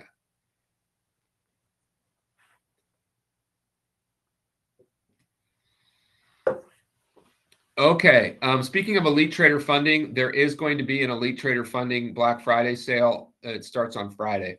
So I'll be doing a YouTube post. Make sure you subscribe to my YouTube channel. Um, if you're here, you're on the list. I'll also send out an email but there'll be basically Black Friday sales from essentially everybody. So on the on the prop stuff. So and also uh, uh, Flowbots is running a 35% off sale starting on Friday, so they'll be 35% off. Uh, Apex has theirs out already. Uh, Bulenox has theirs out already. Uh, Earn2Trade just announced one. Um, the uh, the ETF one will be I believe only on Friday. So literally on Friday. So I'll get that code out.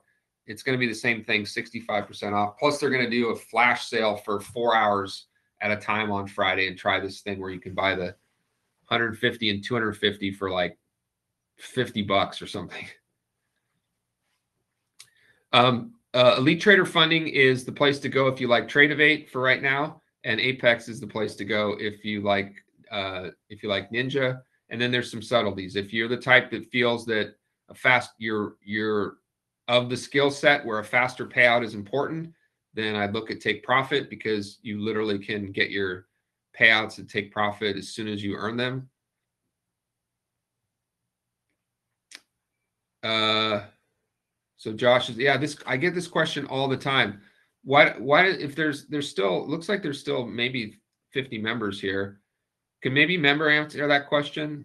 You know, what do you guys think? I get asked it all the time, but I'm at an, another level. So right now it depends on platform.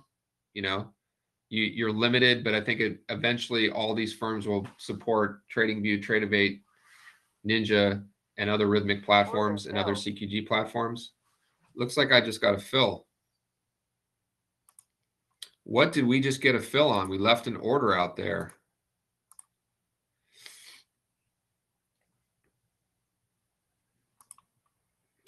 All right, look at that. Order submitted. So we're going to make that riskless because I didn't mean to. But, Order. All right, we're stopped out. Let me just cancel any any orders. But see, that was a minus one buy right down there. So we're getting some movement in the markets. They've given up a lot of the gains as we've been talking here, as we're getting close to closer to the uh, the Fed minutes. So let me just come over here and make sure that I don't have any uh, working orders. Order ca- order canceled.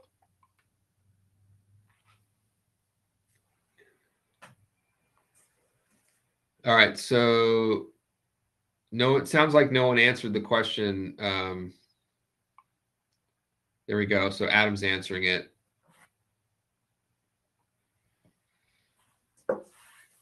Yeah, there's there's a lot of nuance. Um, the ones on the screen here are all reputable, and I know there was some discussions this morning about stuff that Tick Tick was posting or what have you, but overall, gang, um, any of those you're if you succeed i mean they will no one's going to run away with your money. So then it's just differences of platforms and funded trader rules and payout periods and all these other kinds of things. But for right now if you're looking for bare bones cost all things considered if you can use ninja apex at 80% off for life is pretty crazy Bulenox is right behind it at 70% off for life. Uh, the Elite Trader funding deal will be 65% off for life.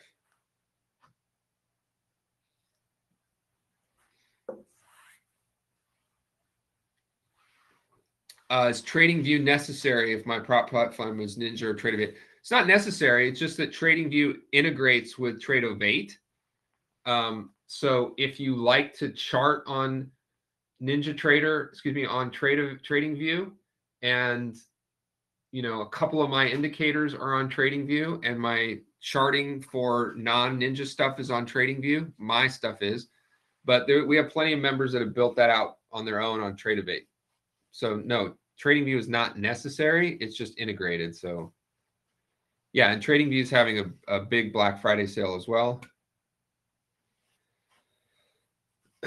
you can use interactive brokers data to run NinjaTrader in canada i think. If you're talking about live that's correct. So so um, canada is limited to some of their futures uh, trading live brokers but interactive brokers does support canada and you can use the api from NinjaTrader to interactive brokers. But if you're in canada you can trade any of the prop programs the prop programs can fund everybody in Canada, which is a great advantage. I mean, there's a guy named Chris who goes by the Canadian Futures Trader who promotes um, uh, a lot of these programs as well and has had a lot of success personally with them. He's in Canada. His, his site's called Canadian Futures Trader. You can chart on any platform and just run DOMs off the. Yeah, you can you can do any any combination of things that you want. You can you can chart and execute on something else. It's it, we used to call that swivel chair integration right? So um, and the other thing is with uh, so let me let me show you it's a good example just real quick. So um, the minus twos came down here. So we know minus two on the dow jones is 34068 right? So it's 34068 what i can do is I know that level, and over here on Trade Tradovate, 34068, right? It's basically the lows that we just hit. Right there, that's minus twos. Or I could just sell low, buy low of day, like right here. And then here's how I would, okay? So there's an example.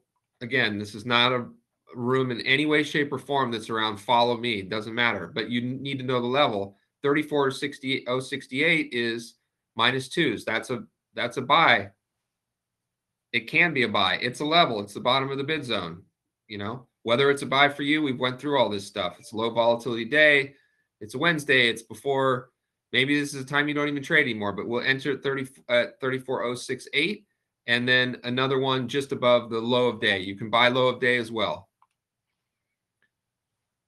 If you are if you are managed to short or buy in the top 5% of the range, no guarantee that you make money, but those are easier positions to manage if you're looking for just little uh, counter trend scalps. Some days don't work. Someday every new low or every new high is made by and followed by another new low or new high shortly thereafter. But there, so that's an example of how you can just chart on something else and just go ahead and enter it. I don't even have a chart on Tradovate. I never open up Tradovate charts. Nothing wrong with them. I just don't use them.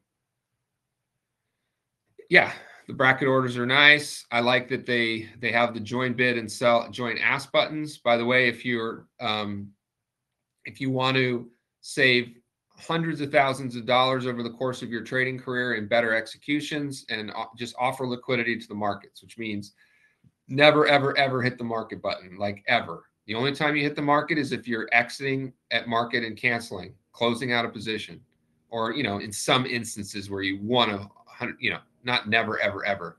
But for for most day trading, if you have a if you have a level you use the limit orders or if you're looking to get in right around price just join the bid if you want to go long or join the ask if you want to go short yes one out of 15 times you'll miss that fill maybe one out of 15 but for all the price improvement that you get it's well worth it so make sure you have the join bid join ask buttons on your DOMs on your charts everywhere join bid join ask okay let me let me just show it to you over here on uh, if I'm looking to get long right in here, I'm going to buy the bid. Orders, order filled. Okay, I got to fill. That was probably a one tick price improvement over market. Okay. If I want to do another one, I'll just buy the bid again. See, the bid is 79 by 81. Buy the bid again, Orders, order and I got filled again. We can do this all day. Now I'm going to sell the ask. Order submitted. Order filled.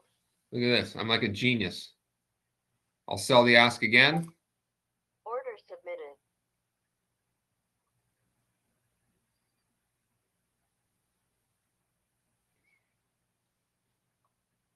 Order canceled. Now I want to buy the bid. By the way, this is just for educational purposes, right? I'm just showing you the way to enter around. Just don't use the market orders. Yeah, use you want to use limit 99 out of 100. But if you're if you're looking for All right, Isaac had a trade of a G1, so he's a, he has a big G day, which is great. So his profit has exceeded his risk budget, which is fantastic. All right, we've gone for a long time. Thank you, everybody. Really appreciate it. Stay green. Trade like you mean it. Trade like you mean it. 13 months. Live trade room. All the goodies for 750 bucks. Black Friday 50.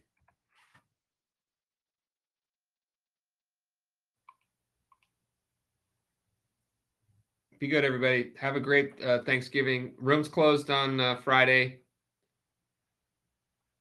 We'll see you see you all back here on Monday, and welcome to all the new members. I'll send you out a little uh, welcome email as well once I go through everything. Be good. Bye bye.